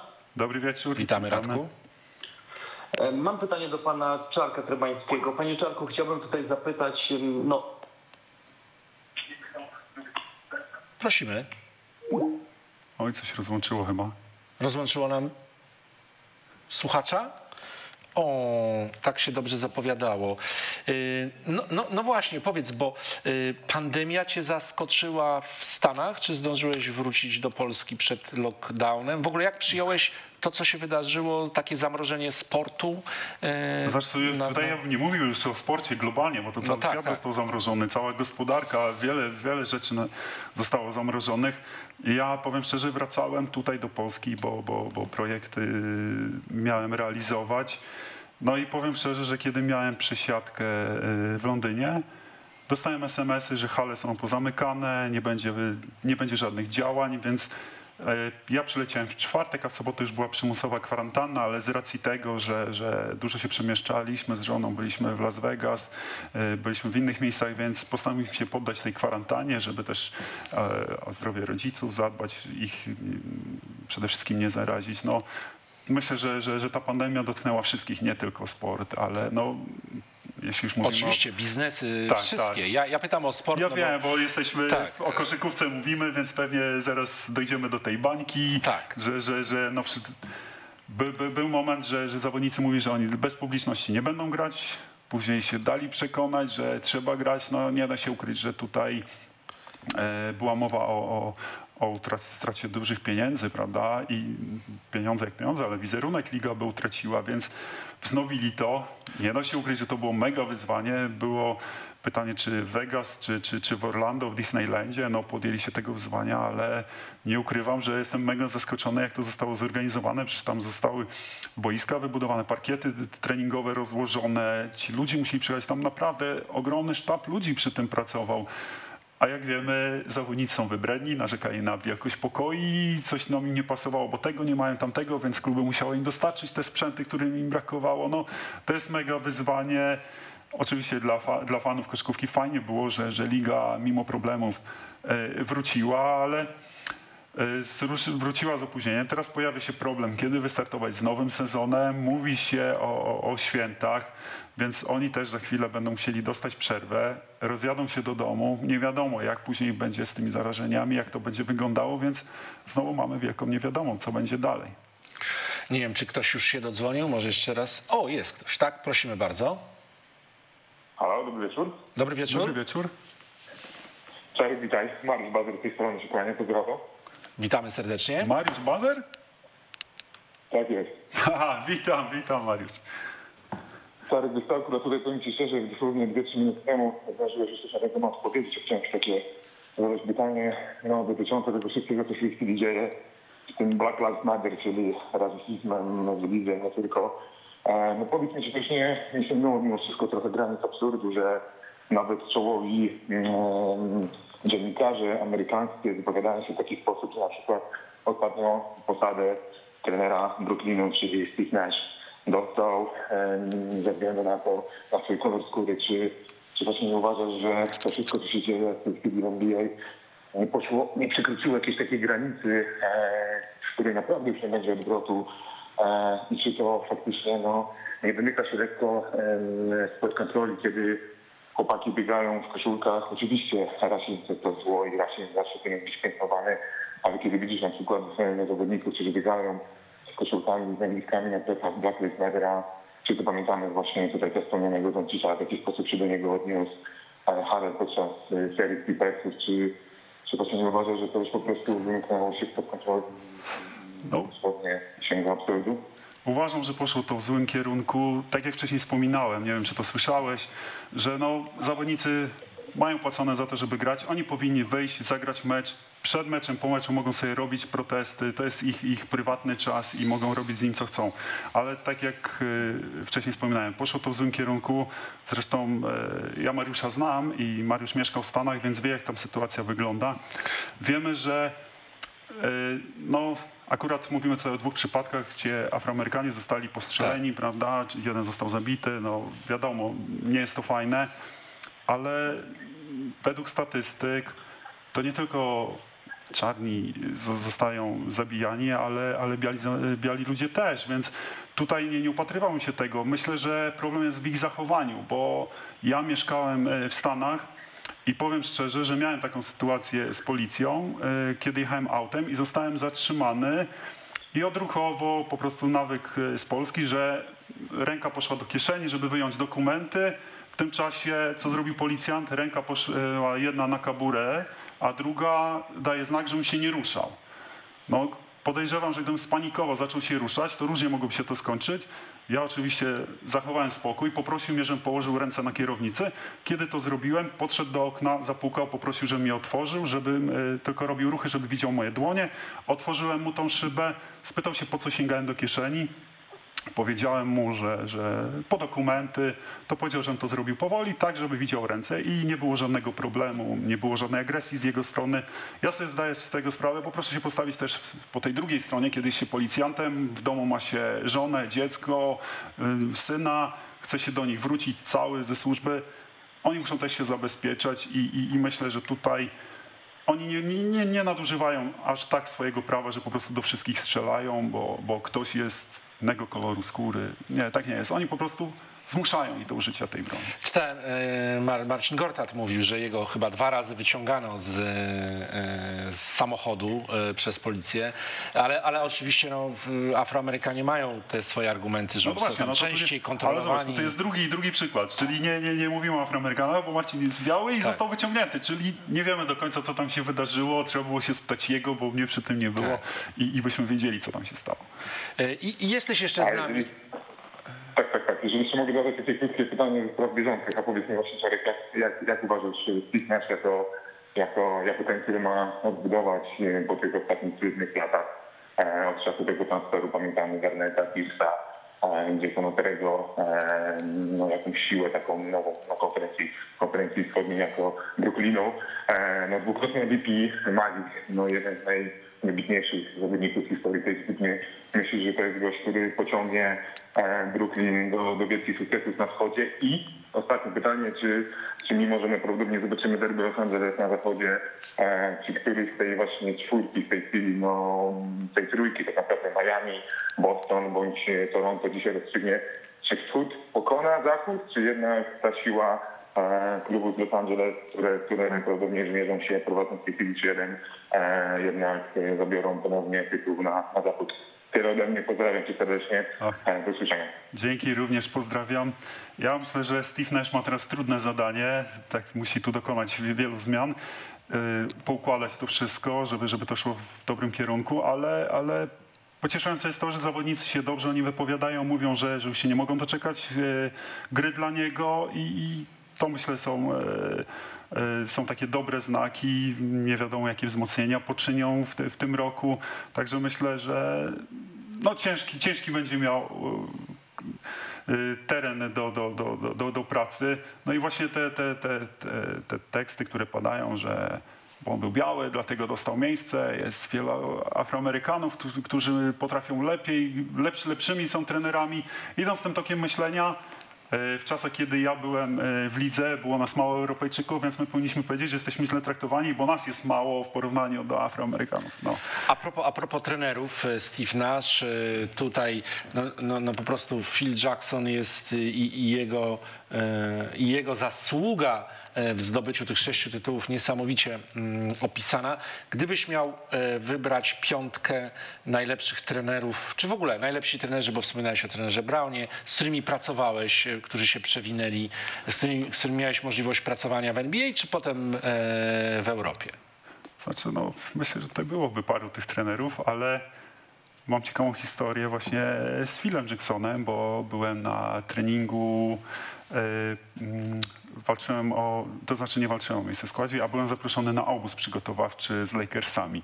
I, i pamiętam, e, kiedy, kiedy właśnie wykonywaliśmy różne ćwiczenia, właśnie Phil wszedł z Kobim i, i, i coś przyglądali się nam, coś sobie szeptali, rozmawiali ale nigdy nie zwrócili się do nas, do zawodników, nie powiedzieli nic. I, i to, było, to było dla mnie dużym zaskoczeniem, bo tak jak wcześniej wspominałem, byłem w różnych klubach na testach i, i zawsze trenerzy podchodzili, coś mówili, co im się podoba, co nie podoba, co można zmienić, a tutaj, tutaj była taka sytuacja, że no, on, on, on tylko poszeptali, popatrzyli się i, i po prostu opuścili trening. A, a taki trener, no gdybyś miał wybrać najlepszego trenera, z jakim e, pracowałeś i żałujesz, że tak długo, że z nim fajnie by było. Ojejku, teraz kurczę. Myślę, że, że tutaj bym nawiązał do, do, do tego pierwszego trenera greckiego, który, który dawał mi szansę, który wierzył we mnie, chciał ze mną podpisać ten trzyletni kontrakt i, i no, on mi utkwił mocno w pamięci, bo, bo pamiętam, kiedy się pojawił na pierwszym treningu, on jeszcze wtedy nie był trenerem, a był takim, e, można powiedzieć, generalnym menadżerem. Był zatrudniony jako generalny menadżer i miał stworzyć nam drużynę. I pamiętam, kiedy zobaczył, że rzucam na boczne kosze, zapytał się, dlaczego ja nie gram. No oczywiście. Pamiętasz, jak się nazywał? E, Mike Kiricis. A. Tak. I, i on, on mi się przyglądał i zapytał się, czemu ja, ja, ja nie trenuję z drużyną, tylko na boczne kosze. No to oczywiście padło, że a, za młody jestem i takie tam. I on popatrzył na mnie, przyszedł do mnie, zaczął mi pokazywać jakieś manewry. I to był pierwszy trener, który mi poświęcił dużo prywatnego czasu, gdzie gry to, to już było później, jak już został trenerem, gdzie dużo indywidualnie ze mną trenował. Yy, Po meczach, które grałem, brał mnie do, do, do biura, gdzie analizowaliśmy mecze i mówił, słuchaj, przesuniesz się tutaj dwa kroki, łatwiej ci będzie zebrać piłkę, a gdy zrobisz to wcześniej, to się zastawisz, będziesz miał lepszą pozycję, gdy łapiesz tu piłkę, musisz rzucać. To był Pierwszy taki trener, y, który mi takie rzeczy mówił, dopiero później w Stanach miałem kontakt z takimi trenerami, więc on mi mocno utkwił w pamięci i, i, i te jego słowa, że, że kiedy właśnie go zapytali, czemu rzucam na boczny kosz, on, on powiedział, że ja zagram w NBA. Oczywiście zostałem przez wszystkich wyśmiany w klubie, kiedy, kiedy o tym us, usłyszeli, rozeszło się to wśród zawodników, a jednak się nie pomylił, miał rację. Kolejny widz, prosimy bardzo. Halo, dobry wieczór. Dobry, Dobry wieczór. wieczór, prosimy. Wi- Witam serdecznie. Michał z Pustkowa Osiedla dzwoni. Y, Chciałem zapytać pana Czarka o naj, taki moment, który podczas kariery w NBA, który zapadł najbardziej w pana pamięci. O jejku, Ty, Jakiś, jakiś, naj, jakiś najlepszy mecz, który pan pamię, będzie pamiętał do końca życia. Czy ma pan takie spotkanie czy moment podczas kariery? Tych momentów było wiele, ale, ale właśnie oglądając Last Dance, czy tutaj czytając książkę, ne, oczywiście pierwsza myśl to jest Jordan, prawda, którego podziwiałem jako, jako nastolatek. Yy, oglądałem jego akcje. Te, w top ten zawsze było w poniedziałki, musiałem uciec z lekcji, żeby to zobaczyć. E, po prostu no, później się naśladowały jego akcje i, i marzyłem, żeby jego mecz obejrzeć w ogóle na żywo i, i pamiętam E, To, co było w Last Dance pokazane, e, że on walczy, zawsze chce wygrać, robi wszystko, motywuje tych kolegów. Ja jeszcze wtedy tego nie widziałem, ale, ale ten Last Dance mi to mocno pokazał, bo mieliśmy sytuację, kiedy on przyjechał do nas do Memphis. Oczywiście hala wyprzedana, już jak tylko y, zaczęły się wyprzedaż biletów, w pierwszym dniu mecze na Lakersów i, i na Chicago były wyprzedane. I właśnie, właśnie przy, był Jordan, końcówka jest, jest spotkania, mam jakieś 6 minut, prowadzimy ośmioma punktami, no i zaczęło się jego show. Brał piłkę pod pachę, na środku boiska stawiał, pokazywał ręką, żeby zeszli mu z boiska i on po prostu brał ciężar gry na siebie. No atakował, my tam odbijaliśmy, to też zrzucaliśmy punkty. Myślę, że około dwóch minut dłużej meczu i wyciągnąłby ten mecz, ale, ale zabrakło mu czasu. Widać było tą złość w nim, tą złość i, i, i pamiętam, kiedy y, pojechaliśmy do nich grać, y, on wtedy Washington Wizard grał, pojechaliśmy grać, rzucił nam 45 punktów w trzy kwarty i czwartą kwartę przesiedział na ławce, co było dla mnie dużym zaskoczeniem. Miał rozwiązane buty, kolana obłożone lodem, co, co w Polsce było nie do wyobrażenia. I, i, i właśnie ta jego chęć wygrywania, pokonywania, on był zły właśnie, że wtedy mu się tego nie udało i, i tak jak mówię, no Last Dance to, to, to mocno pokazał i, i później dopiero skojarzyłem te fakty. No. Też, też no, utkwiła mi w pamięci kolacja z Kobi, też jego akcje, kiedy, kiedy nam wy, wygrał mecz, my przegraliśmy przez niego w ostatniej akcji, nam rzucił punkty. No, jest trochę tych akcji do opowiadania. Tak. No właśnie, a propos Kobiego, bo tu wspomniałeś o tym, jak weszli z Philem Jacksonem, wy trenujecie, to w ogóle nie wyobrażam sobie. To tak jak, yy, wiesz, jaka, jaka, jaka presja, ciężko się skon- skoncentrować. Ale powiedz yy, w ogóle o swojej kolacji, no bo mm, tak sobie pomyślałem, że ten rok yy, zaczął się tak fatalnie, jeszcze zanim pandemia, No, no to ta tragiczna śmierć Kobiego yy, w tym śmigłowcu, w tej katastrofie. Kobe, Stern, E, David tak. Stern. David Stern, legendarny także- komisarz Tak, e, także NBA. no- Ale powiedz, jak przyjąłeś w ogóle, no, poznałeś osobiście, tak? E, Z, z, Jak doszło, w ogóle doszło do tej kolacji? E, i- E, Kiedy już byłem w Memphis, e, Shane Bettier był moim przyjacielem, który dbał o, o, o młodego. E, Naprawdę zaprzyjaźniliśmy się i, i często mnie gdzieś zabierał. I właśnie była sytuacja, że poleciliśmy na mecz do LA, tam mieliśmy grać z Clippersami, Lakersami i, i, i- on mówi, słuchaj, e, czy nie chcesz iść na kolację, bo mój przyjaciel przyjdzie po mnie i pojedziemy coś zjeść. Ja mówię, jak najbardziej. No, no i przychodzi e, szczuplutki chłopaczek w bluzie, afro, tylko, że wtedy jak go oglądałem w telewizji, on był mega umieśniony, a to bluza wszystko zakrywała, wyglądał się takim chłopaczkiem. Tak e, właśnie z tym przyjacielem Łukaszem patrzymy jeden na drugiego. Kobi, Kobi. No tak, no Kobi, no. Przedstawił nam właśnie, właśnie Shane go przedstawił, no Kobe Bryant, no poszliśmy na kolację. No, powiem szczerze, że byłem tak podekscytowany tym wszystkim, no bo o- Okej, to nie były jeszcze jego lata świetności, ale już pokazywał, że jako rookie potrafi sobie, to był chyba trzeci rok jego, tak, trzeci rok wtedy. On już sobie świetnie radzi w tej lidze i, i, i widać, że, że, że może być gwiazdą. No, no, to było mega przeżycie e, dla mnie. A wiesz, że ja e, spotkałem Kobiego e, Bryanta e, w, w roku, w którym e, w ogóle dostał się do e, LA e, z, z, e, Z high school, tak. z high school, tak. Ja, ja, ja jeździłem na Adidas Streetball. Sam grałem kiedyś, potem zostałem, byłem e, dziennikarzem, e, byłem stażystą, więc wysyłali mnie na koszykówkę uliczną, ale w nagrodę był wyjazd, e, już właśnie zapomniałem chyba do Berlina i do Mediolanu i były gwiazdy. Adidas zapraszał tak, swoje gwiazdy. był sponsorem. Tak, był tam raz Karim Abdul-Jabbar, był Dikembe Mutombo właśnie. Tak, z Karimem miałem okazję I wiesz, trenować. i, a to powiedzieli, a tu gość, który właśnie e, jeszcze nie jest zawodnikiem NBA, dopiero został do... do, do e, Tak, i, słuchaj, wybrany, no. I my, i nawet nie wiedziałem, e, o czym tutaj zrobić z nim wywiad. Był taki piętrus e, z otwartym dachem i to było takie biuro prasowe. I on stał tam na dachu, ja tak zaczęliśmy sobie, zacząłem tak rozmawiać, żeby mieć do reportażu, wiesz, też widziałem, że dostanę jakieś mało miejsca, żeby no tak, tu o, jak tam oczekiwania, przedmienie. I słuchaj, on w ogóle jak usłyszał, że jestem z Polski, to powiedział, że e, z, uczył się na historii o Polsce, że tyle lat byliście, nie mieliście państwa, ale walczyliście o to państwo, wiesz, nagle mm, Tak. z gwiazdorem, który wie takie rzeczy, y, bo on uczył się, y, chodził do szkoły we Włoszech, ojciec tak. tam grał w kosza i, i był taki przesympatyczny. Potem już co roku się z nim spotykałem na, i zawsze wywiad y, przy okazji tego Adidas Streetball i za każdym razem mnie rozpoznawał. Ja się, wiesz, nie, nie jestem koszykarskim, em, mm, ale no taka możliwość. No był przeuroczym e, człowiekiem. Powiedz, gdzie, jak, jak w ogóle zareagowałeś na tą tragiczną wiadomość, bo w ogóle niesamowita była reakcja nawet nie tylko Amerykanów, w ogóle kibiców e, koszykówki na całym świecie, tak jakby stracili kogoś z rodziny, miałem wrażenie. no, to była wielka postać, nie tylko dla świata koszykówki, ale dla sportu, motywator, e, pokazywał ciężką pracę, jak ciężko do wszystkiego dochodził. No, naprawdę, brak słów, żeby określić jego wielkość. Ale kiedy byłem w Stanach, y, pamiętam, byłem w kościele, wyszedłem, mój telefon cały czas wibrował mi w kieszeni. Kiedy wyszedłem, sprawdziłem, miałem kilka informacji, paru dziennikarzy próbowało się do mnie dodzwonić.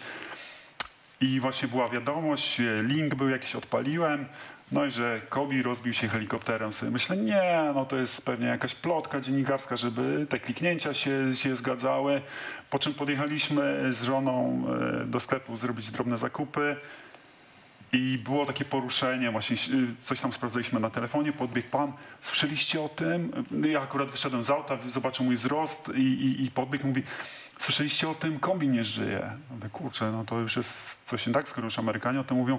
No i zaczął mówić, że w mediach już było, ale jeszcze nie jest potwierdzone, czy Kobi był w samolocie, więc wszyscy żyli tą nadzieją, że on może nie wsiadł, może go tam nie ma, może ktoś się pomylił, bo, bo, bo nie było to potwierdzone, ale, ale później, godzinę później bodajże już było potwierdzenie oficjalne, że tak, Kobi był w tym samolocie, był z córką.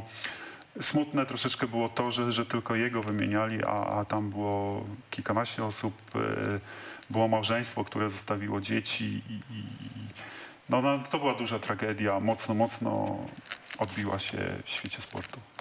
Tak, wielka, e, wielka tragedia, że tak pozytywna osoba, jeszcze która tak dużo robiła e, dla innych. e, Tak, właśnie, właśnie to, co powiedziałeś, wielu sportowców nie potrafi się odnaleźć, a on po, po, po, po koszykówce robił tyle, tyle e, rzeczy i, i nawet tego Oscara, którego dostał prawda, za tą animację, no, to, to, to było coś wspaniałego, czyli pokazał, że, że potrafi być wielki nie tylko na boisku.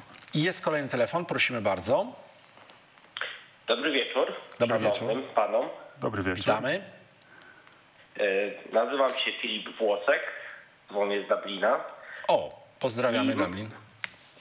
Dziękuję bardzo, panie Michale. Mam takie ogólne pytanie.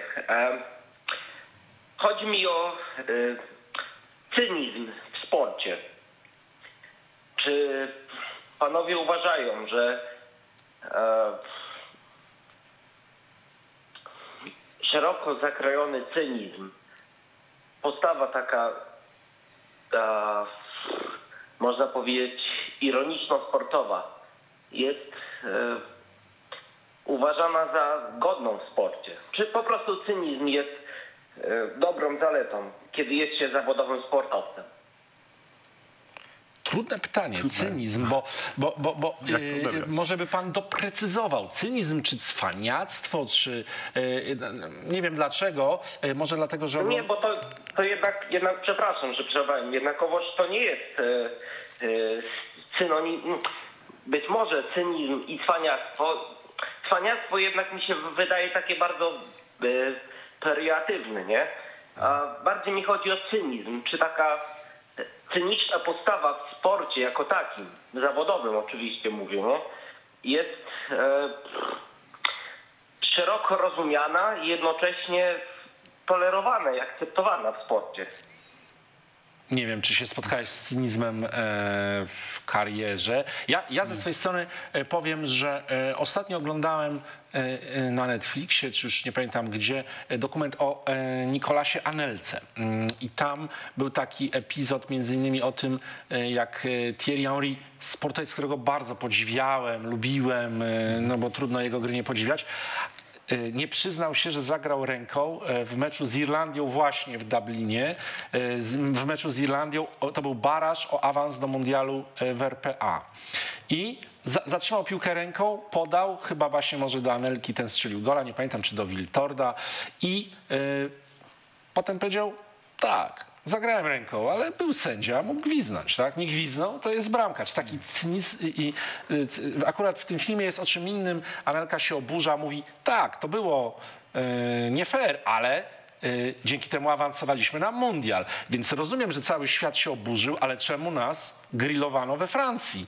No przecież dzięki temu dowieźliśmy i jedziemy na mundial. O tym to było. No, taki przykład cynizmu, no ale czy ja wiem, czy w sporcie jest tak dużo, jest dużo różnych innych złych cech. Nie wiem, czy, czy ty tu widzisz gdzieś, yy, yy, czy coś cynicznego. Na przykład się tak teraz zastanawiam mm, w tym e, szóstym tytule, o którym e, książkę tutaj mamy i, i, i film The Last Dance. Y, y, niektórzy za, zarzucali cy, cynizm Jordanowi, ale też nie wiem, czy cynizm, raczej taką...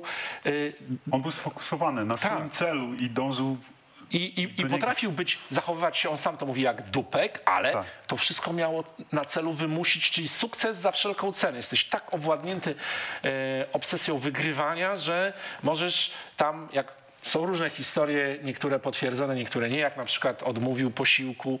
e, e, Horace Grant źle zagrał w tym meczu, tak? E, No tak, to ale- on nie dostanie w samolocie posiłku w, w drodze powrotnej. No tak, ale zawodnicy z perspektywy czasu mówią, że, że teraz go rozumieją, o co mu chodziło, co chciał przez to osiągnąć. Wiadomo, to jest męczące i, i jeśli na co dzień jesteś, można powiedzieć, dojeżdżany jakoś tam psychicznie, i, i- no to, to, to jest męczące, ale, ale też byli zawodnicy, którzy byli męczeni, ale on tłumaczył w tym e, serialu, że on chciał z nich wydobyć to, co jest najlepsze, żeby sobie poradzili właśnie w playoffach, kiedy przychodzi ta walka, gdzie, gdzie inni będą im dokuczać, on ich przyzwyczaił po prostu do, do tego. I, I tam była sytuacja, że e, właśnie cały czas męczył tego zawodnika i była, był moment, kiedy on mógł oddać rzut z pół dystansu, ale zobaczył Jordana pod koszem, podał mu, Jordan rzucił i, i wskazał na niego palcem, mój człowiek i, i, i to, jest, to jest właśnie takie wymagał, ale też doceniał. I fajne było to w, doku, w dokumencie, że on nigdy nie wymagał czegoś, czego sam, nie zrobił. Tak, tak, to pada też tutaj. Tak, tak.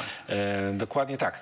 E, nie, nie, nie mam wrażenia, że dobrze odpowiedzieliśmy na e, pytanie, które zadawał nasz widz z, Lubli, e, z Dublina, przepraszam, nie z Lublina, ale może będzie lepiej tym razem. E, prosimy bardzo. Halo, halo.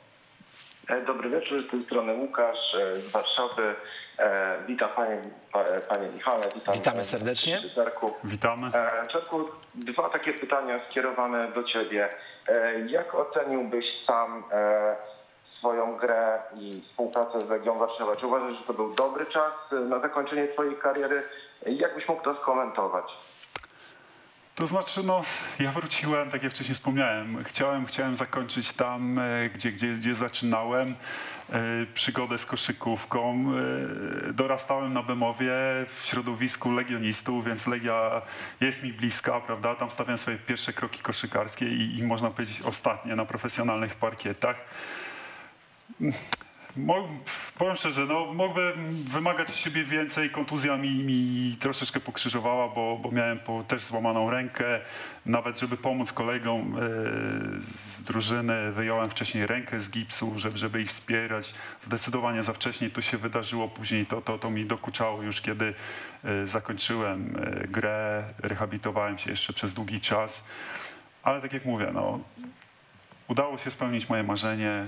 Tam, gdzie zacząłem, tam skończyłem i, to, to było dla mnie fajne. Jasne. Ja pamiętam Ciebie, bo niejednokrotnie przychodziłem na Helenę Bemowo i świetnie się oglądało e, Wasze i przede wszystkim Twoje występy, e, więc pamiętam to dobrze, a teraz spoglądam na biurko i widzę e, zdjęcie z Twoim autografem, także jest mi niezmiernie miło e, z Tobą zamienić jakiekolwiek kilka słów.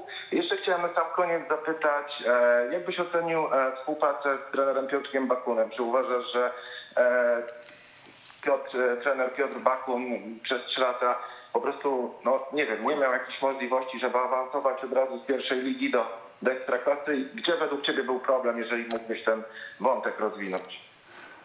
To znaczy, mm, wiem, bo byłem w środku drużyny, że, że trener Bakun chciał, chciał wzmocnień, ale, ale od zarządu usłyszał, że nie ma, to już, już mówisz, jak ja tam byłem, że nie ma, nie ma środków na, na wzmocnienie, po czym nagle trener zostaje zwolniony i pojawiają się środki na nowych zawodników, przyjeżdża nowy trener i, i, i pojawiają się nowi zawodnicy, więc nie miał tam łatwej pracy, ale, ale starał się y, wykrzesać to, to, to, co mógł z zawodników, których tam miał. Jasne, rozumiem. E, bardzo dziękuję w takim razie. Dziękuję. Dziękujemy, pozdrawiamy.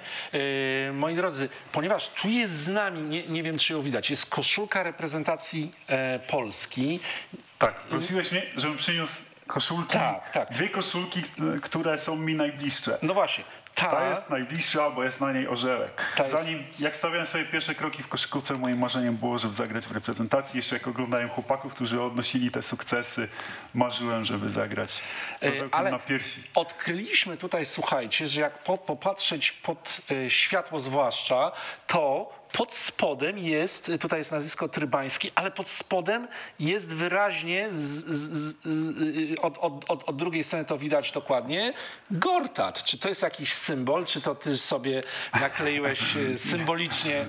Y, Nie. O co tutaj chodzi? Czy Nie, też nic. związek nie dysponował wystarczającą liczbą koszulek, więc po prostu No właśnie, zakleił? to, to były czasy, kiedy związek no, no, nie najlepiej sobie radził organizacyjnie i, i to były czasy, kiedy ja byłem, Marcin Gortat i Maciej Lampę w, tych samym, w tym samym czasie y, w reprezentacji. No i chyba to była jedyna duża koszulka, jaka była i trafiło, że ja grałem, więc naklejono Odklejali, moje. jak miał wejść Maciek, to po prostu... Tak, nie mam pojęcia, jak, czy jak, jak to działało. W każdym bądź razie tak, po, po, po, po występach trafiła do mnie. No to, no to mm, skoro jesteśmy przy, przy reprezentacji e, Polski, powiedz jak, jak przeżywałeś e, Mistrzostwa Świata w Chinach? Wiem jak.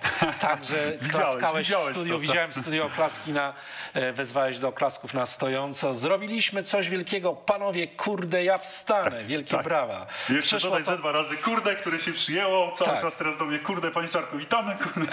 Tak, tak, nie. No Ale to był spontan. Tak, to był spontan, no, no duże emocje były. Oni wyszarpali ten mecz, prawda, no to bodajże było z meczami... Rosja. Mecz z, Rosja, nie z Rosją. Chinami? Z Rosją, z Rosją. Tak?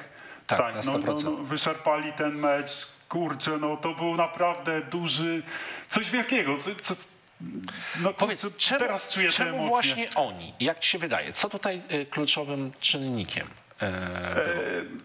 No właśnie, tutaj myślę, że dużo był krytykowany trener Mike Taylor, a, a, a myślę, że, że on tam budował tą chemię w zespole.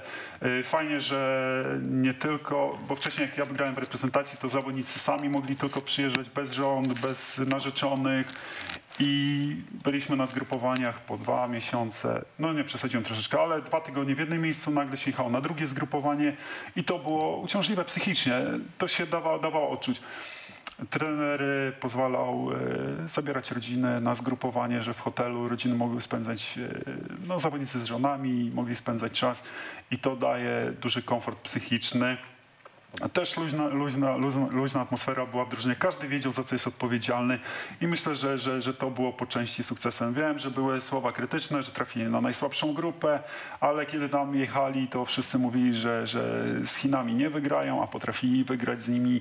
Z drugiej strony, mimo tego, że, że, że mieli grupę jaką mieli, potrafili to wykorzystać, bo jak wiemy, często się zdarza, że kiedy jadą, grupa będzie łatwa, jest zaskoczenie. Oni to wykorzystali, e, poszli nawet więcej niż się każdy spodziewał. Ja myślę, że przed, przed turniejem każdy wybrał to ósme miejsce w ciemno, a, a, a też spełniło się ich wielkie marzenie. Chcieli trafić do grupy z, ze Stanami. Na szczęście tego nie było, bo by, by byli razem z Turcją i, i zaraz by wylecieli. e, Myślę, że szybko by na, na w pierwszej grupie skończyli zawody, a, a tak powalczyli dalej, spełnili swoje marzenie, bo trafili w końcu na, na, na Stany, grali i, i, i- to, to, to było fajne. I czy powiedz, czy nie boisz się, że e, ten sukces, który no, dałoby się kontynuować, gdzieś ugrzęźnie, e, zaprzepaści te, te, te, konflikty na linii związek, e, To znaczy, zawodnik? ja myślę, Czyją jest- tu stronę brałeś, kiedy, kiedy doszło do tej To znaczy, ja eskalacji? chyba byłem w Stanach, jak ten konflikt się, się, się rozpoczął, ale moje zdanie jest takie, że związek przespał ten, e, ten czas. E, Zawsze się mówiło, że koszykówka kuleje, bo nie ma sukcesów. Kiedy sukces się pojawił, nie wiadomo było, co z nim zrobić. Ja powiem szczerze, na spontanie nawet e, jak reprezentacja grała, zrobiłem wydarzenie na Facebooku, że chłopaki przylotują. Kto może, niech przyjdzie ich przywitać. 100 osób przyszło, więc, więc to było fajne. Oni też byli zaskoczeni, ale, ale to było tylko to. Nie było nic więcej, nie było żadnych akcji z nimi związanych. Myślę, że, że, że Patrz, to... jak siatkówka umie swoje sukcesy. Ja wiem, że to Mistrzostwa Świata, ale nawet jak nie było Mistrzostwa Świata, e, to, to, to tłumy na Okęciu, powitanie, cała taka Tak, wiesz, no właśnie tutaj, tutaj event. też tego zabrakło. Nie wiem, nie wiem czemu tak się dzieje, a, a- myślę, że można było to pociągnąć i, i, i coś więcej z tego, z tego wykrzesać. E, Okej, z- zdaję sobie sprawę, że paru zawodników gra poza mm, granicami kraju i, i no, oni są związani z kontraktami, ale e, paru kadrowiczów było w kraju i, i tutaj związek mógł coś z nimi podziałać, coś więcej porobić. Mamy kolejnego widza, słuchacza, prosimy bardzo, a do polskich wątków jeszcze wrócimy. Halo, halo. E, witam, Konrad Szczecin. E, I tak, e, pierwsze co bym się chciał odnieść to jeszcze tutaj do The Last Dance, bo tak łatwo gdzieś krytykować Jordana, jaki on był dupkiem i tak dalej, i tak dalej, ale patrząc na zawodników, e, którzy po odejściu z Chicago, jak się dynastia rozpadła, to jednak wszyscy e, zanotowali regres formy. Czyli można powiedzieć, że jednak e, z Michaelem byli lepsi. No tam Steve Kerr zdobył oczywiście San Antonio jeszcze mistrzostwo, ale generalnie, nie wiem, Luke Longley i podobni zawodnicy to nawet szybko karierę zakończyli. E, I teraz jeszcze mam takie pytanie do Cezarego Trymańskiego. Czy Kawhi Leonard obecnie jest najlepszym zawodnikiem w lidze NBA? I druga rzecz, czy nie nudzi go ta obecna koszykówka? Bo ja się wychowałem podobnie na latach 90., jestem 82 rocznik i uważam tamtą koszykówkę za najlepszą, a teraz obecna to przypomina raczej konkurs rzutów za trzy punkty niż jakieś takie mecze na dużym poziomie. No w playoffach jeszcze trochę to się podciąga, ale generalnie sezon zasadniczy to jest bardzo, bardzo nudny. Dziękuję bardzo i pozdrawiam serdecznie. Dziękujemy. Okej, zacznę od ostatniego pytania. Faktycznie, ja też się wychowywałem na tej koszykówce, gdzie było przepychanie, walka pod koszem, agresja i, i też mi się bardziej podobała. Tak jak już wcześniej tutaj wspomniałem, no, strajki to jest niepotrzebne, oni powinni się skupić na graniu, to jest, to jest ich zadanie i też, też zdecydowanie wolałem tą starą koszykówkę. Może dlatego, że właśnie to była pierwsza taka styczność z tą koszykówką. Ja ci powiem, że ja byłem fanem Detroit Pistons. Tak, tak, właśnie to nie było tak dostępne Dor- jak dzisiaj. Jordan dla mnie był zawsze za doskonały. Geniusz to zawsze się kibicuje. y, No, ale wiesz, no, wyobrażasz sobie no, to niszczenie Michaela, no to oczywiście no, Ale było... właśnie, e, właśnie, właśnie tutaj padło, że, że, że go krytykują. Ja uważam, że on właśnie wydobywał więcej z ludzi niż się, da, niż się dało. Tak samo Kobi, o nim też taka opinia, że on nie jest dobrym e, kolegą z drużyny, że on chce więcej. A on właśnie miał podobny charakter do, do Jordana. Wszyscy mówili, że to są wrogowie, a co się okazało ceremonii, e, która się odbyła e, w LA na hali, był Jordan i wypowiedział, że to był przyjaciel, który dzwonił do niego, radził się go, co ma robić, co ma robić ze swoją córką, jak ją pokierować i tam była przyjaźń. To nie jest tak, że oni są tylko e, wrogami i wszystkich krytykują i on, on potrafił właśnie z zawodników e, więcej wyciągać. Ja powiem szczerze, że chciałbym trafić do takiego poskrzydła takiego zawodnika, zobaczyć co on by ze mnie wyciągnął, co zrobił. Wiadomo, że to by było trudno, ale dojechałby, ale by wym, wy, wymagałby, ale tak jak mówisz, y, jak wielokrotnie to pada, że nigdy nie wymagał niczego, czego sam by... Sam nie zrobił, tak. No nawet jak te linie biegał, prawda, tam w Last Dance było pokazane. Bieg jako pierwszy, reszty, reszta miała za nim nadążyć. No, to nie było tak, że wymyślał rzeczy, które są niemożliwe. Ja powiem szczerze, że no, chciałbym być pod skrzydłami takiego zawodnika. Podejrzewam, że mógłby więcej z, z, ze mnie wyciągnąć i, i, i zmotywował. On też poprawiał błędy. To nie tylko tak, że, że tylko krytykował. No. Ale jeszcze wracając do tego, bo to jest ciekawe, co mówisz o tym, mm, jak się zmieniła ta koszykówka od twoich czasów. E, Czy oni sobie tam w NBA nie zdają sprawy, że to już jest inne show, nie, nie, nie ma jakichś szans, nadziei do, na, na jakieś zmiany, które mm, zmienią trochę tą rywalizację. Nie mówię, że znów będzie można walić po łapach, tak jak i, y, i, i- i specjalny plan na Michaela. Nie, nie, nie, nie do tego, nie do powrotu do y, Bad Boys y, z tłoków, ale no, takich meczów właśnie lat y, 90. Nie, no teraz koszykówka w tym kierunku jest szybka, dużo się rzuca i Houston to, to, to, to pokazują.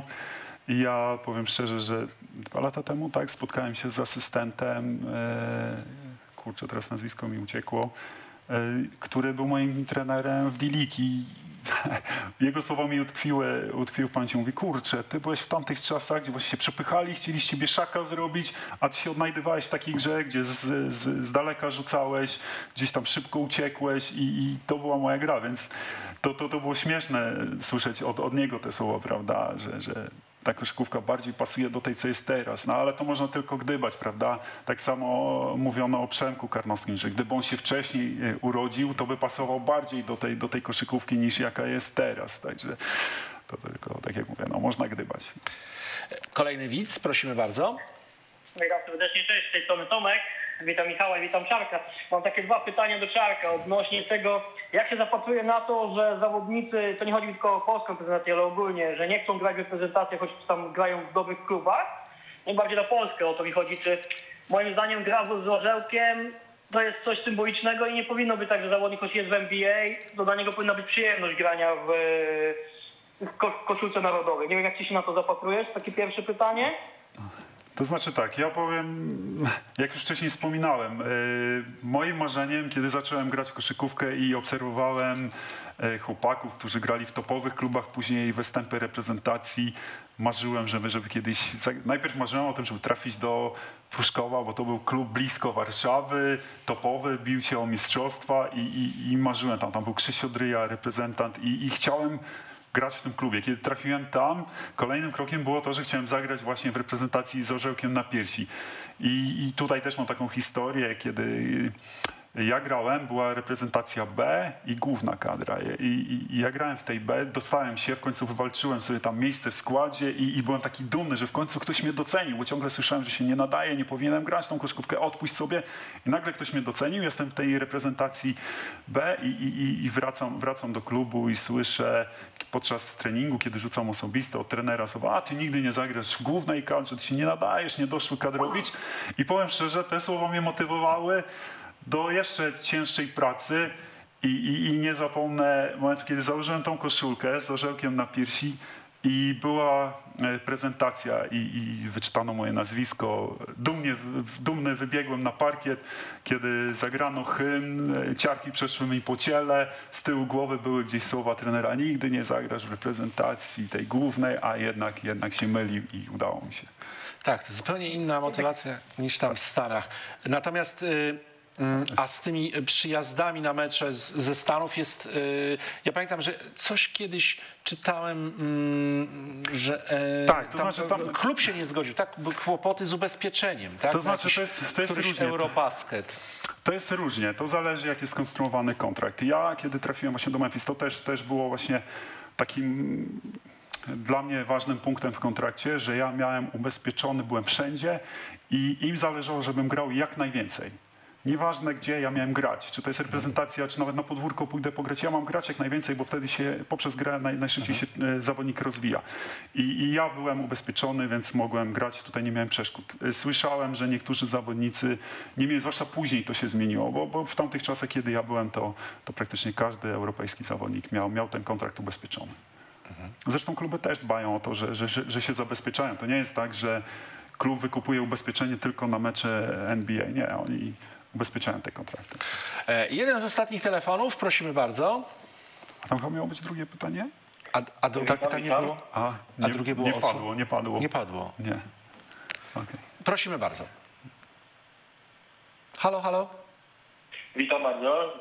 Halo? Dzień Witamy, dobry, jesteś słyszymy? na antenie, czekamy na pytanie.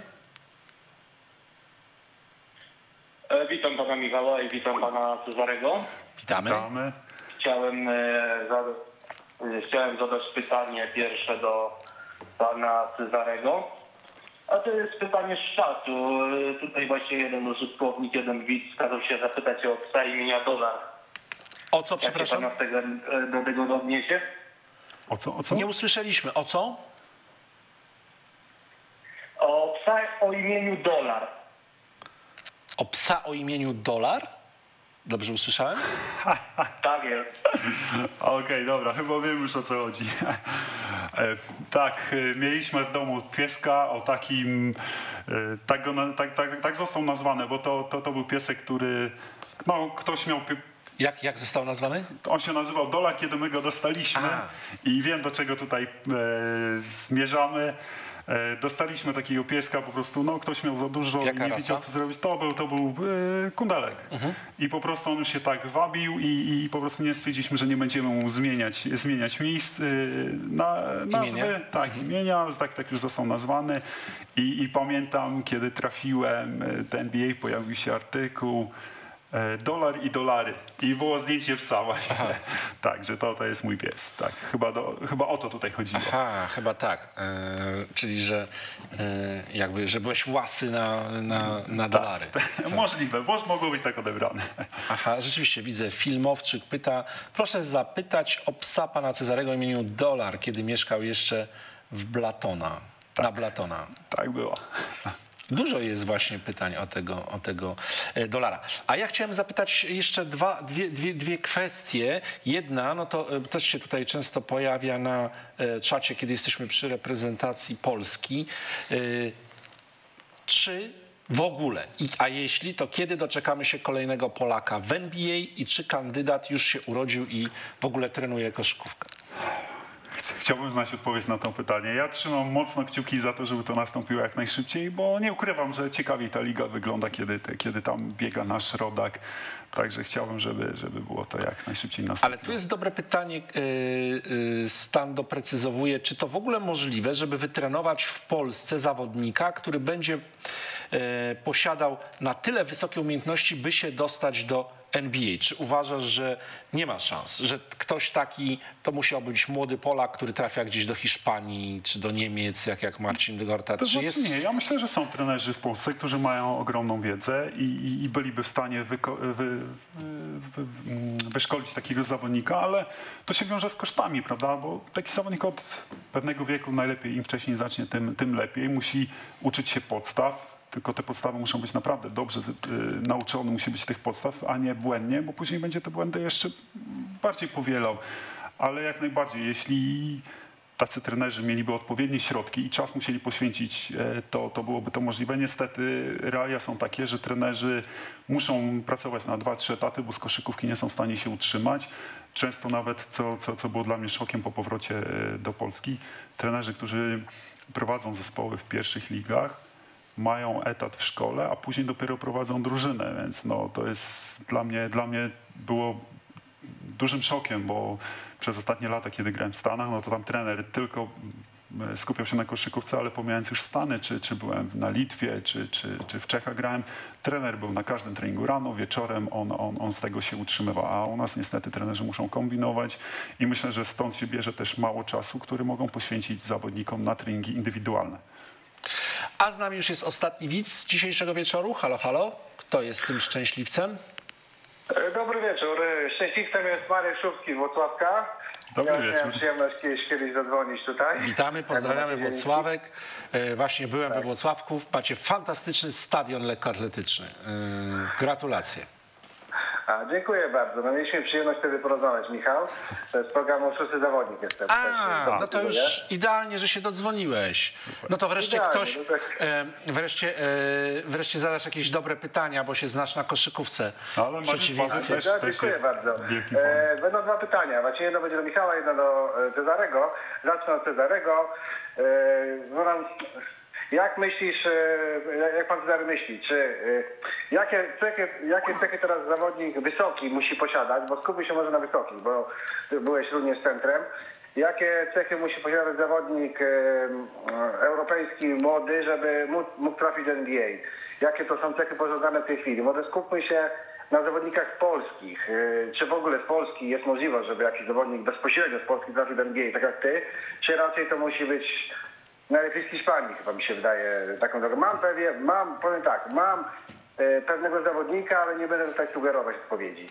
A do Michała zadam tylko szybko pytanie, zanim mi rozłączycie. E, kiedy będziesz w Wrocławku na meczu Anwilu? E, A kiedy gra teraz Anvil? E, e, Legendarna hala, byłem tam kiedyś na meczu właśnie reprezentacji Polski. Bardzo chętnie bym wrócił na jakiś dobry mecz. A Anwil gra jutro z e, Strefną Sopot. E, jest telewizji mecz i potem w środę z GTK Gliwice, ale mam na głęboką nadzieję, że będziemy grać z Lidze Mistrzów, przynajmniej eliminację. I to będzie lepsza okazja, bo będą na pewno ciekawe mecze.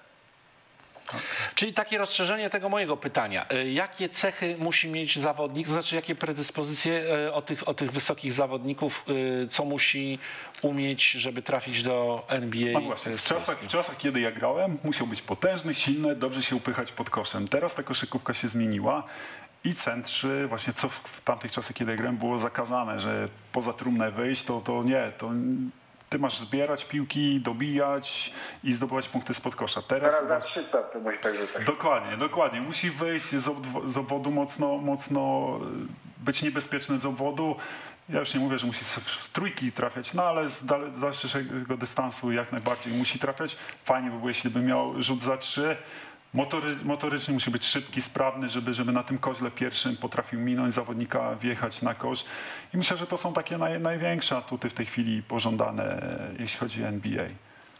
E, A czy Bill Lambier nie był centrem? E, On rzucał za trzy, pamiętam, w Detroit i z dystansu bardzo dobrze. Jak znaczy, takim, mój takim, ulubiony takim słynnym Europejczykiem, który w czasach, kiedy jeszcze to nie było popularne, to był Fuczka, który potrafił rzucać za trzy i, i jeden z trenerów właśnie bardzo chciał, żebym się rozwijał tak jak on, żebym wychodził na obwód, rzucał, ale tak jak mówię, no wtedy były inne wymagania, zawodnik musiał być pod koszem i, i trenerzy nawet się złościli, jeśli się wychodziło, wychodziło na, na, na obwód. E, Ten widz, e, mm, z którym rzeczywiście rozmawialiśmy mm, we Włocławku, e, mm, coś sugerował, że jakiś Polak grający obecnie w Hiszpanii, tak? Czy, czy nie widzisz w kadrze Wiem, szeroko wiem, pojętej? Mówi, kurczę, teraz mi uciekło. On w reprezentacji grał, młody zawodnik, wyszedł z Chinami, rzucił, y, rzucił za trzy, y, bez kompleksów grał i, i myślę, że, że tu jest potencjał. Teraz mi kurczę uciekło nazwisko.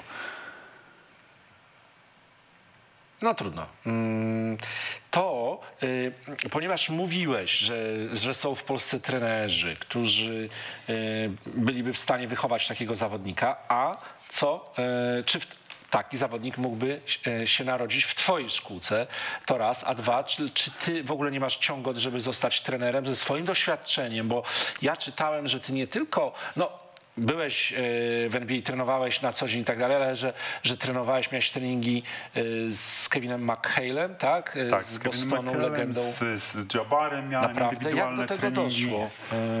Z Kevinem McCallem to właśnie kiedy byłem na, w Minnesocie na testach, graliśmy jeden na jeden i, i, i on był tam wtedy generalnym menadżerem, wyszedł grać przeciwko, graliśmy przeciwko sobie jeden na jeden. Jego marzenie było, żeby mnie tam sprowadzić i, i z Kevinem Garnettem zrobić strefę podkoszową. Stwierdził, że mamy taki zasięg ramion, że wstaniemy pod koszem, to, to pół boiska za, za, za, zakryjemy. I, i no właśnie przeciwko niemu grałem, a przeciwko Jabarowi to byłem e, w Nowym Jorku i on został ściągnięty właśnie jako trener, który ma pracować z wysokimi i tam miałem z nim indywidualne treningi i, i mimo wieku, powiem szczerze, na boisku ruszał się naprawdę bardzo dobrze. Te jego rzuty hakiem z e, tak zwanego łokcia, czyli z górnego rogu trumny na 10-8 trafiał, mimo że ja tam stałem, broniłem. Zdradzał mi te tajniki, ja- jak się przepychać, jak, jak, jak rzucać hakiem. Dużo żeśmy trenowali. A wracając do pytania o, o szkolenie, chciałbym jak najbardziej wychować w swojej akademii, nie tylko w swojej akademii, wychować takich zawodników, którzy, którzy wypłyną na, na, na europejskie czy, czy amerykańskie parkiety, ale, ale to będzie trudne zadanie. A moim marzeniem było właśnie indywidualne treningi dla wysokich. To, czego ja zaznałem będąc w Stanach, gdzie, gdzie właśnie odwiedzałem takie szkółki prywatne, gdzie, gdzie byłem właśnie szkolony przeciwko właśnie takim trenerom, którzy grali na tej pozycji i oni zdradzali te swoje sztuczki. Ja jako trener jak najbardziej mogę poprowadzić jakiś tam zespół, ale e, czy, czy zawodnika, ale nie będę ukrywał, że na pozycji rozgrywającego ja znam tylko te podstawy, prawda? Ale żeby te tajniczki, te kruczki, kiedy minąć szybciej, lepiej, jak niżej ustać na kolanach, czy jak stopy ustawić, to już będzie wiedział zawodnik, który grał przez wiele lat na tej pozycji, bo, bo wiedza książkowa jest inna, teoretyczna, a ta praktyczna jest zupełnie inna. Widzisz, jaki fajny jest y, y, to, że jest czat i są widzowie, którzy od razu podpowiadają, y, że chodzi o, o Olka Bal Balcerowskiego, tak? Dokładnie, Arkadiusz. Biernacki, y, tak. ten Wojtek. Pol, czytaj czat. Ja czytam, tylko no, koncentruję się też na tym, co mówi Tomasz Górka. Widzę, widzę, że... Ba... O, proszę, a niektórzy podpuszczają, że Balcerowicz. nie, nie, nie, Olek Balcerowski, tak? 2,20. Tak, i tutaj warto. Podkreślić, że tata, tata e, grał w reprezentacji na wózkach i, i w tym samym czasie właśnie grali dla reprezentacji, to, to też było. E, tutaj czy, czytam, e, e, odpowiada Jakub Ko. Anvil prędzej spadnie niż awansuje do Ligi Mistrzów, czyli trash talking widzę jest też na, e, na czacie. Radosław Żmudziński. Dlaczego pan Cezary e, Trybański przyszedł do AZS-u e, Koszalin? Mówił, że w Polfarmie czuł się dobrze e, i dlaczego padł wybór na PLK? Dlaczego po wy- wybór na PLK? E, No właśnie, i to jest też ciekawa historia, bo po dobrym sezonie na Litwie dostałem propozycję przedłużenia kontraktu, ale powiem szczerze, że e, mocno już tęskniłem za krajem, chciałem wrócić, stwierdziłem, że minęło tyle lat, że na pewno e, koszykówka się zmieniła, już jest inne podejście do zawodników, jest lepiej. Niestety szybko zostało to zweryfikowane, wcale tak nie było, niewiele się zmieniło od tego czasu, a, a, a no, trafiłem do, do, do Polfarmy, bo oni byli mocno zainteresowani. No, tutaj środowisko e, fanów, którzy, którzy byli, którzy są w Polfarmie, serdecznie ich pozdrawiam, bo takich fanów naprawdę ciężko było szukać, zwłaszcza w tak małym mieście. Żyli koszykówką, było to fajne, miałem z nimi fajny kontakt, zaczepiali mnie na ulicy, żeśmy rozmawiali. No nawet tam, tam, tam po meczach troszeczkę prezesi inne informacje im przekazywali, przyszli do nas, mieliśmy rozmowę, kiedy im wyjaśniliśmy, zrozumieli o co chodzi. Ja, ja pamiętam z Polfarmą, tak jak mówiłem, czułem się tam dobrze, bo, bo fajne środowisko było. Natomiast y, problemy zaczęły się w momencie, kiedy poleciałem, y, poleciałem, pojechaliśmy na mecz ze Słupskiem i jeden z kibiców podszedł do mnie i, i powiedział witamy w naszej drużynie. Po chwili podchodzi dziennikarz, no trans, do, do transferu doszło. Ja, ja o niczym y, nie wiedziałem. Podobno prezes rozmawiał z moim agentem, y, że chciałby, przepraszam, żeby chciał do, żeby doszło do takiego transferu. Ja powiedziałem, że nie, ja przyjechałem tutaj do Polfarmy, czułem się dobrze, naprawdę miałem dobry start sezonu, było wszystko fajnie. Później złapałem y, kontuzję no, niefortunną pa, palca, gdzie, gdzie tak naprawdę powinienem leżeć przez kilka miesięcy, no przesadziłem kilka miesięcy, ale przynajmniej dwa miesiące i, i to leczyć, a ja mimo to starałem się grać. Później była, pojawiła się sytuacja z koszeleniem. Już miałem naprawdę dosyć tej sytuacji, która, która tam panowała. Nie chcę tutaj tego, tego wszystkiego wyciągać, ale myślę, że, że może kiedyś ja napiszę swoją książkę i opiszę takie historie, które, które tam były, bo, bo jest trochę tego i, i, i, i właśnie stwierdziłem, że no, chyba czas najwyższy jednak zmienić to i Koszalin właśnie mnie chciał. Igor Milicic tam był i, i, był trenerem. Kontaktował się ze mną, powiedział, jaki widzi na mnie, na mnie ma pomysł i, i, i dlatego zdecydowałem się zmienić klub. E, nie, e, nie masz jeszcze tytułu tej książki e, swojej przyszłej? Nie, nie, nie, ale powiem szczerze, że, że właśnie jak gdzieś tam poruszam, jak są jakieś sytuacje, ten Last Dance, poruszam tam jakieś wspomnienia tego, to właśnie ludzie, a czekamy na książkę, czekamy, więc może chyba trzeba o tym pomyśleć. The Last Dance, świetny tytuł. Krew na rogach też jest świetna, no bo pokazuje, że ten, że ten sukces, ten szósty tytuł nie był bez, że to krew, pot i, i łzy i naprawdę no to była walka, tak? The Last Dance, historia w ogóle tego e, tytułu, tak? Od, od Phila Jacksona, którym tam rozdał, że tańczymy ostatni taniec. I te, to więc dwa takie pytania, mm, jedno z, e, jedno z czatu właśnie związane od, z tym, od czego zaczęliśmy. Nadmienię, że Chicago Bulls, Krew na rogach, e, książka wydana przez wydawnictwo SQN. W opisie wideo macie link do mm, księgarni Labotiga i tam możecie tą książkę kupić lub mnóstwo innych biografii sportowców, książek. A pytanie brzmi: Michael Jordan czy LeBron James? Kto był ha, To większy? jest odwieczne pytanie. No ja, właśnie. Ja uważam, że nie powinno się tych zawodników porównywać. Oni grali w różnych y, latach. Ja wychowywałem się na Jordanie, więc dla mnie będzie oczywiście Jordan lepszy, to znaczy lepszy. Może to, że dorastałem na nim, mam sentyment do niego, bo obaj są świetnymi zawodnikami. Miałem okazję być na obozach Cleveland przez kilka lat. Byłem tam sparring partnerem Eagles więc wiem na co stać jednego i drugiego, ale mi sercu bliższy będzie Jordan. Czyli gdybyś e, mógł wybrać sobie, e, z kim grasz w drużynie, to pod skrzydła Jordana, tak? tak. Mimo tego, e, że naprawdę stworzył tam taki no, obóz pracy, można powiedzieć, w, no w tak, Chicago no, ale wiesz, no, był obóz pracy, ale efektem tego są pierścienie, prawda? Wielu zawodników w NBA gra, gra tyle lat i i zmieniają kluby teraz. Teraz to się stało modne, zmieniają kluby, gdzie jest więcej zawodników lepszych, żeby jak najszybciej zdobyć ten pierścień. On tam był, czy było gorzej, lepiej, ciągle tam był. Wiadomo, nie liczymy tej przerwy na, po, po stracie taty i, i, i kiedy grał w baseball, ale, ale mimo porażek on wyciągał wnioski z tego i od razu, od razu zaczynał pracę przygotowania do nowego sezonu. Tak po jednym sezonie tam była porażka. Trener przygotowania motorycznego się zapytał to, kiedy się widzimy, a on powiedział jutro, już się przygotował do nowego sezonu, prawda? Zwłaszcza chyba po tej przerwie, tak? Kiedy nie był gotowy, jeszcze te nogi były słabsze. Bo to i- był ten sezon, kiedy wrócił z tak, baseballa. tak. I, I od razu chciał to nadrobić. I, i, i to, jest, to, to jest fajne. No, tak samo Kobi, też świetny zawodnik, prawda? No, ja bym ich nie porównywał. Każdy ma coś w sobie i tak jak mówię. A LeBron, powiedz parę słów o LeBronie, jest wielki? Jest wielki, jest silny, co, co pamiętam e, mm, na treningach, co pierwsze mi się rzuciło w oczy, kiedy on wyskakiwał do góry, e, zawsze leciał do góry. Nawet jak się go pchnęło, on nie uciekał w bok. Nieważne, czy kosz miał za sobą, wychodził w górę, potrafi się obrócić i znaleźć ten kosz i oddać rzut.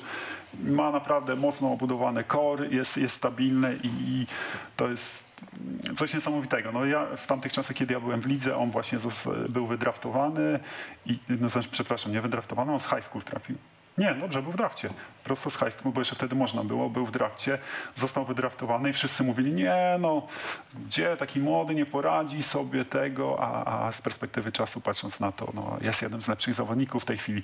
I właśnie wcześniej padło pytanie o e, Leonarda, prawda? Czy, czy jest najlepszym koszykarzem? No, będzie, na przeszkodzie teraz y, Lakers, gdzie mówią, że to właśnie to pytanie było od ciebie też, czy LeBron nie jest najlepszy. I tutaj będą walczyć o najlepszego koszykarza w LA, który jest najlepszy. No i powiem szczerze, że ta rywalizacja może być ciekawa. Także bym z ciekawością ją obejrzeć. E, Bardzo Ci dziękuję za to spotkanie. Dziękuję Wam, e, moi kochani. Cezary e, Trybański, czyli człowiek, który tam był, tak jak mówi, był, widział to wszystko z bliska. To był Hate Park. Bardzo Wam serdecznie dziękuję. Odsyłam raz jeszcze do księgarni Labotika. Link znajdziecie pod filmem. I na co ja zapraszam?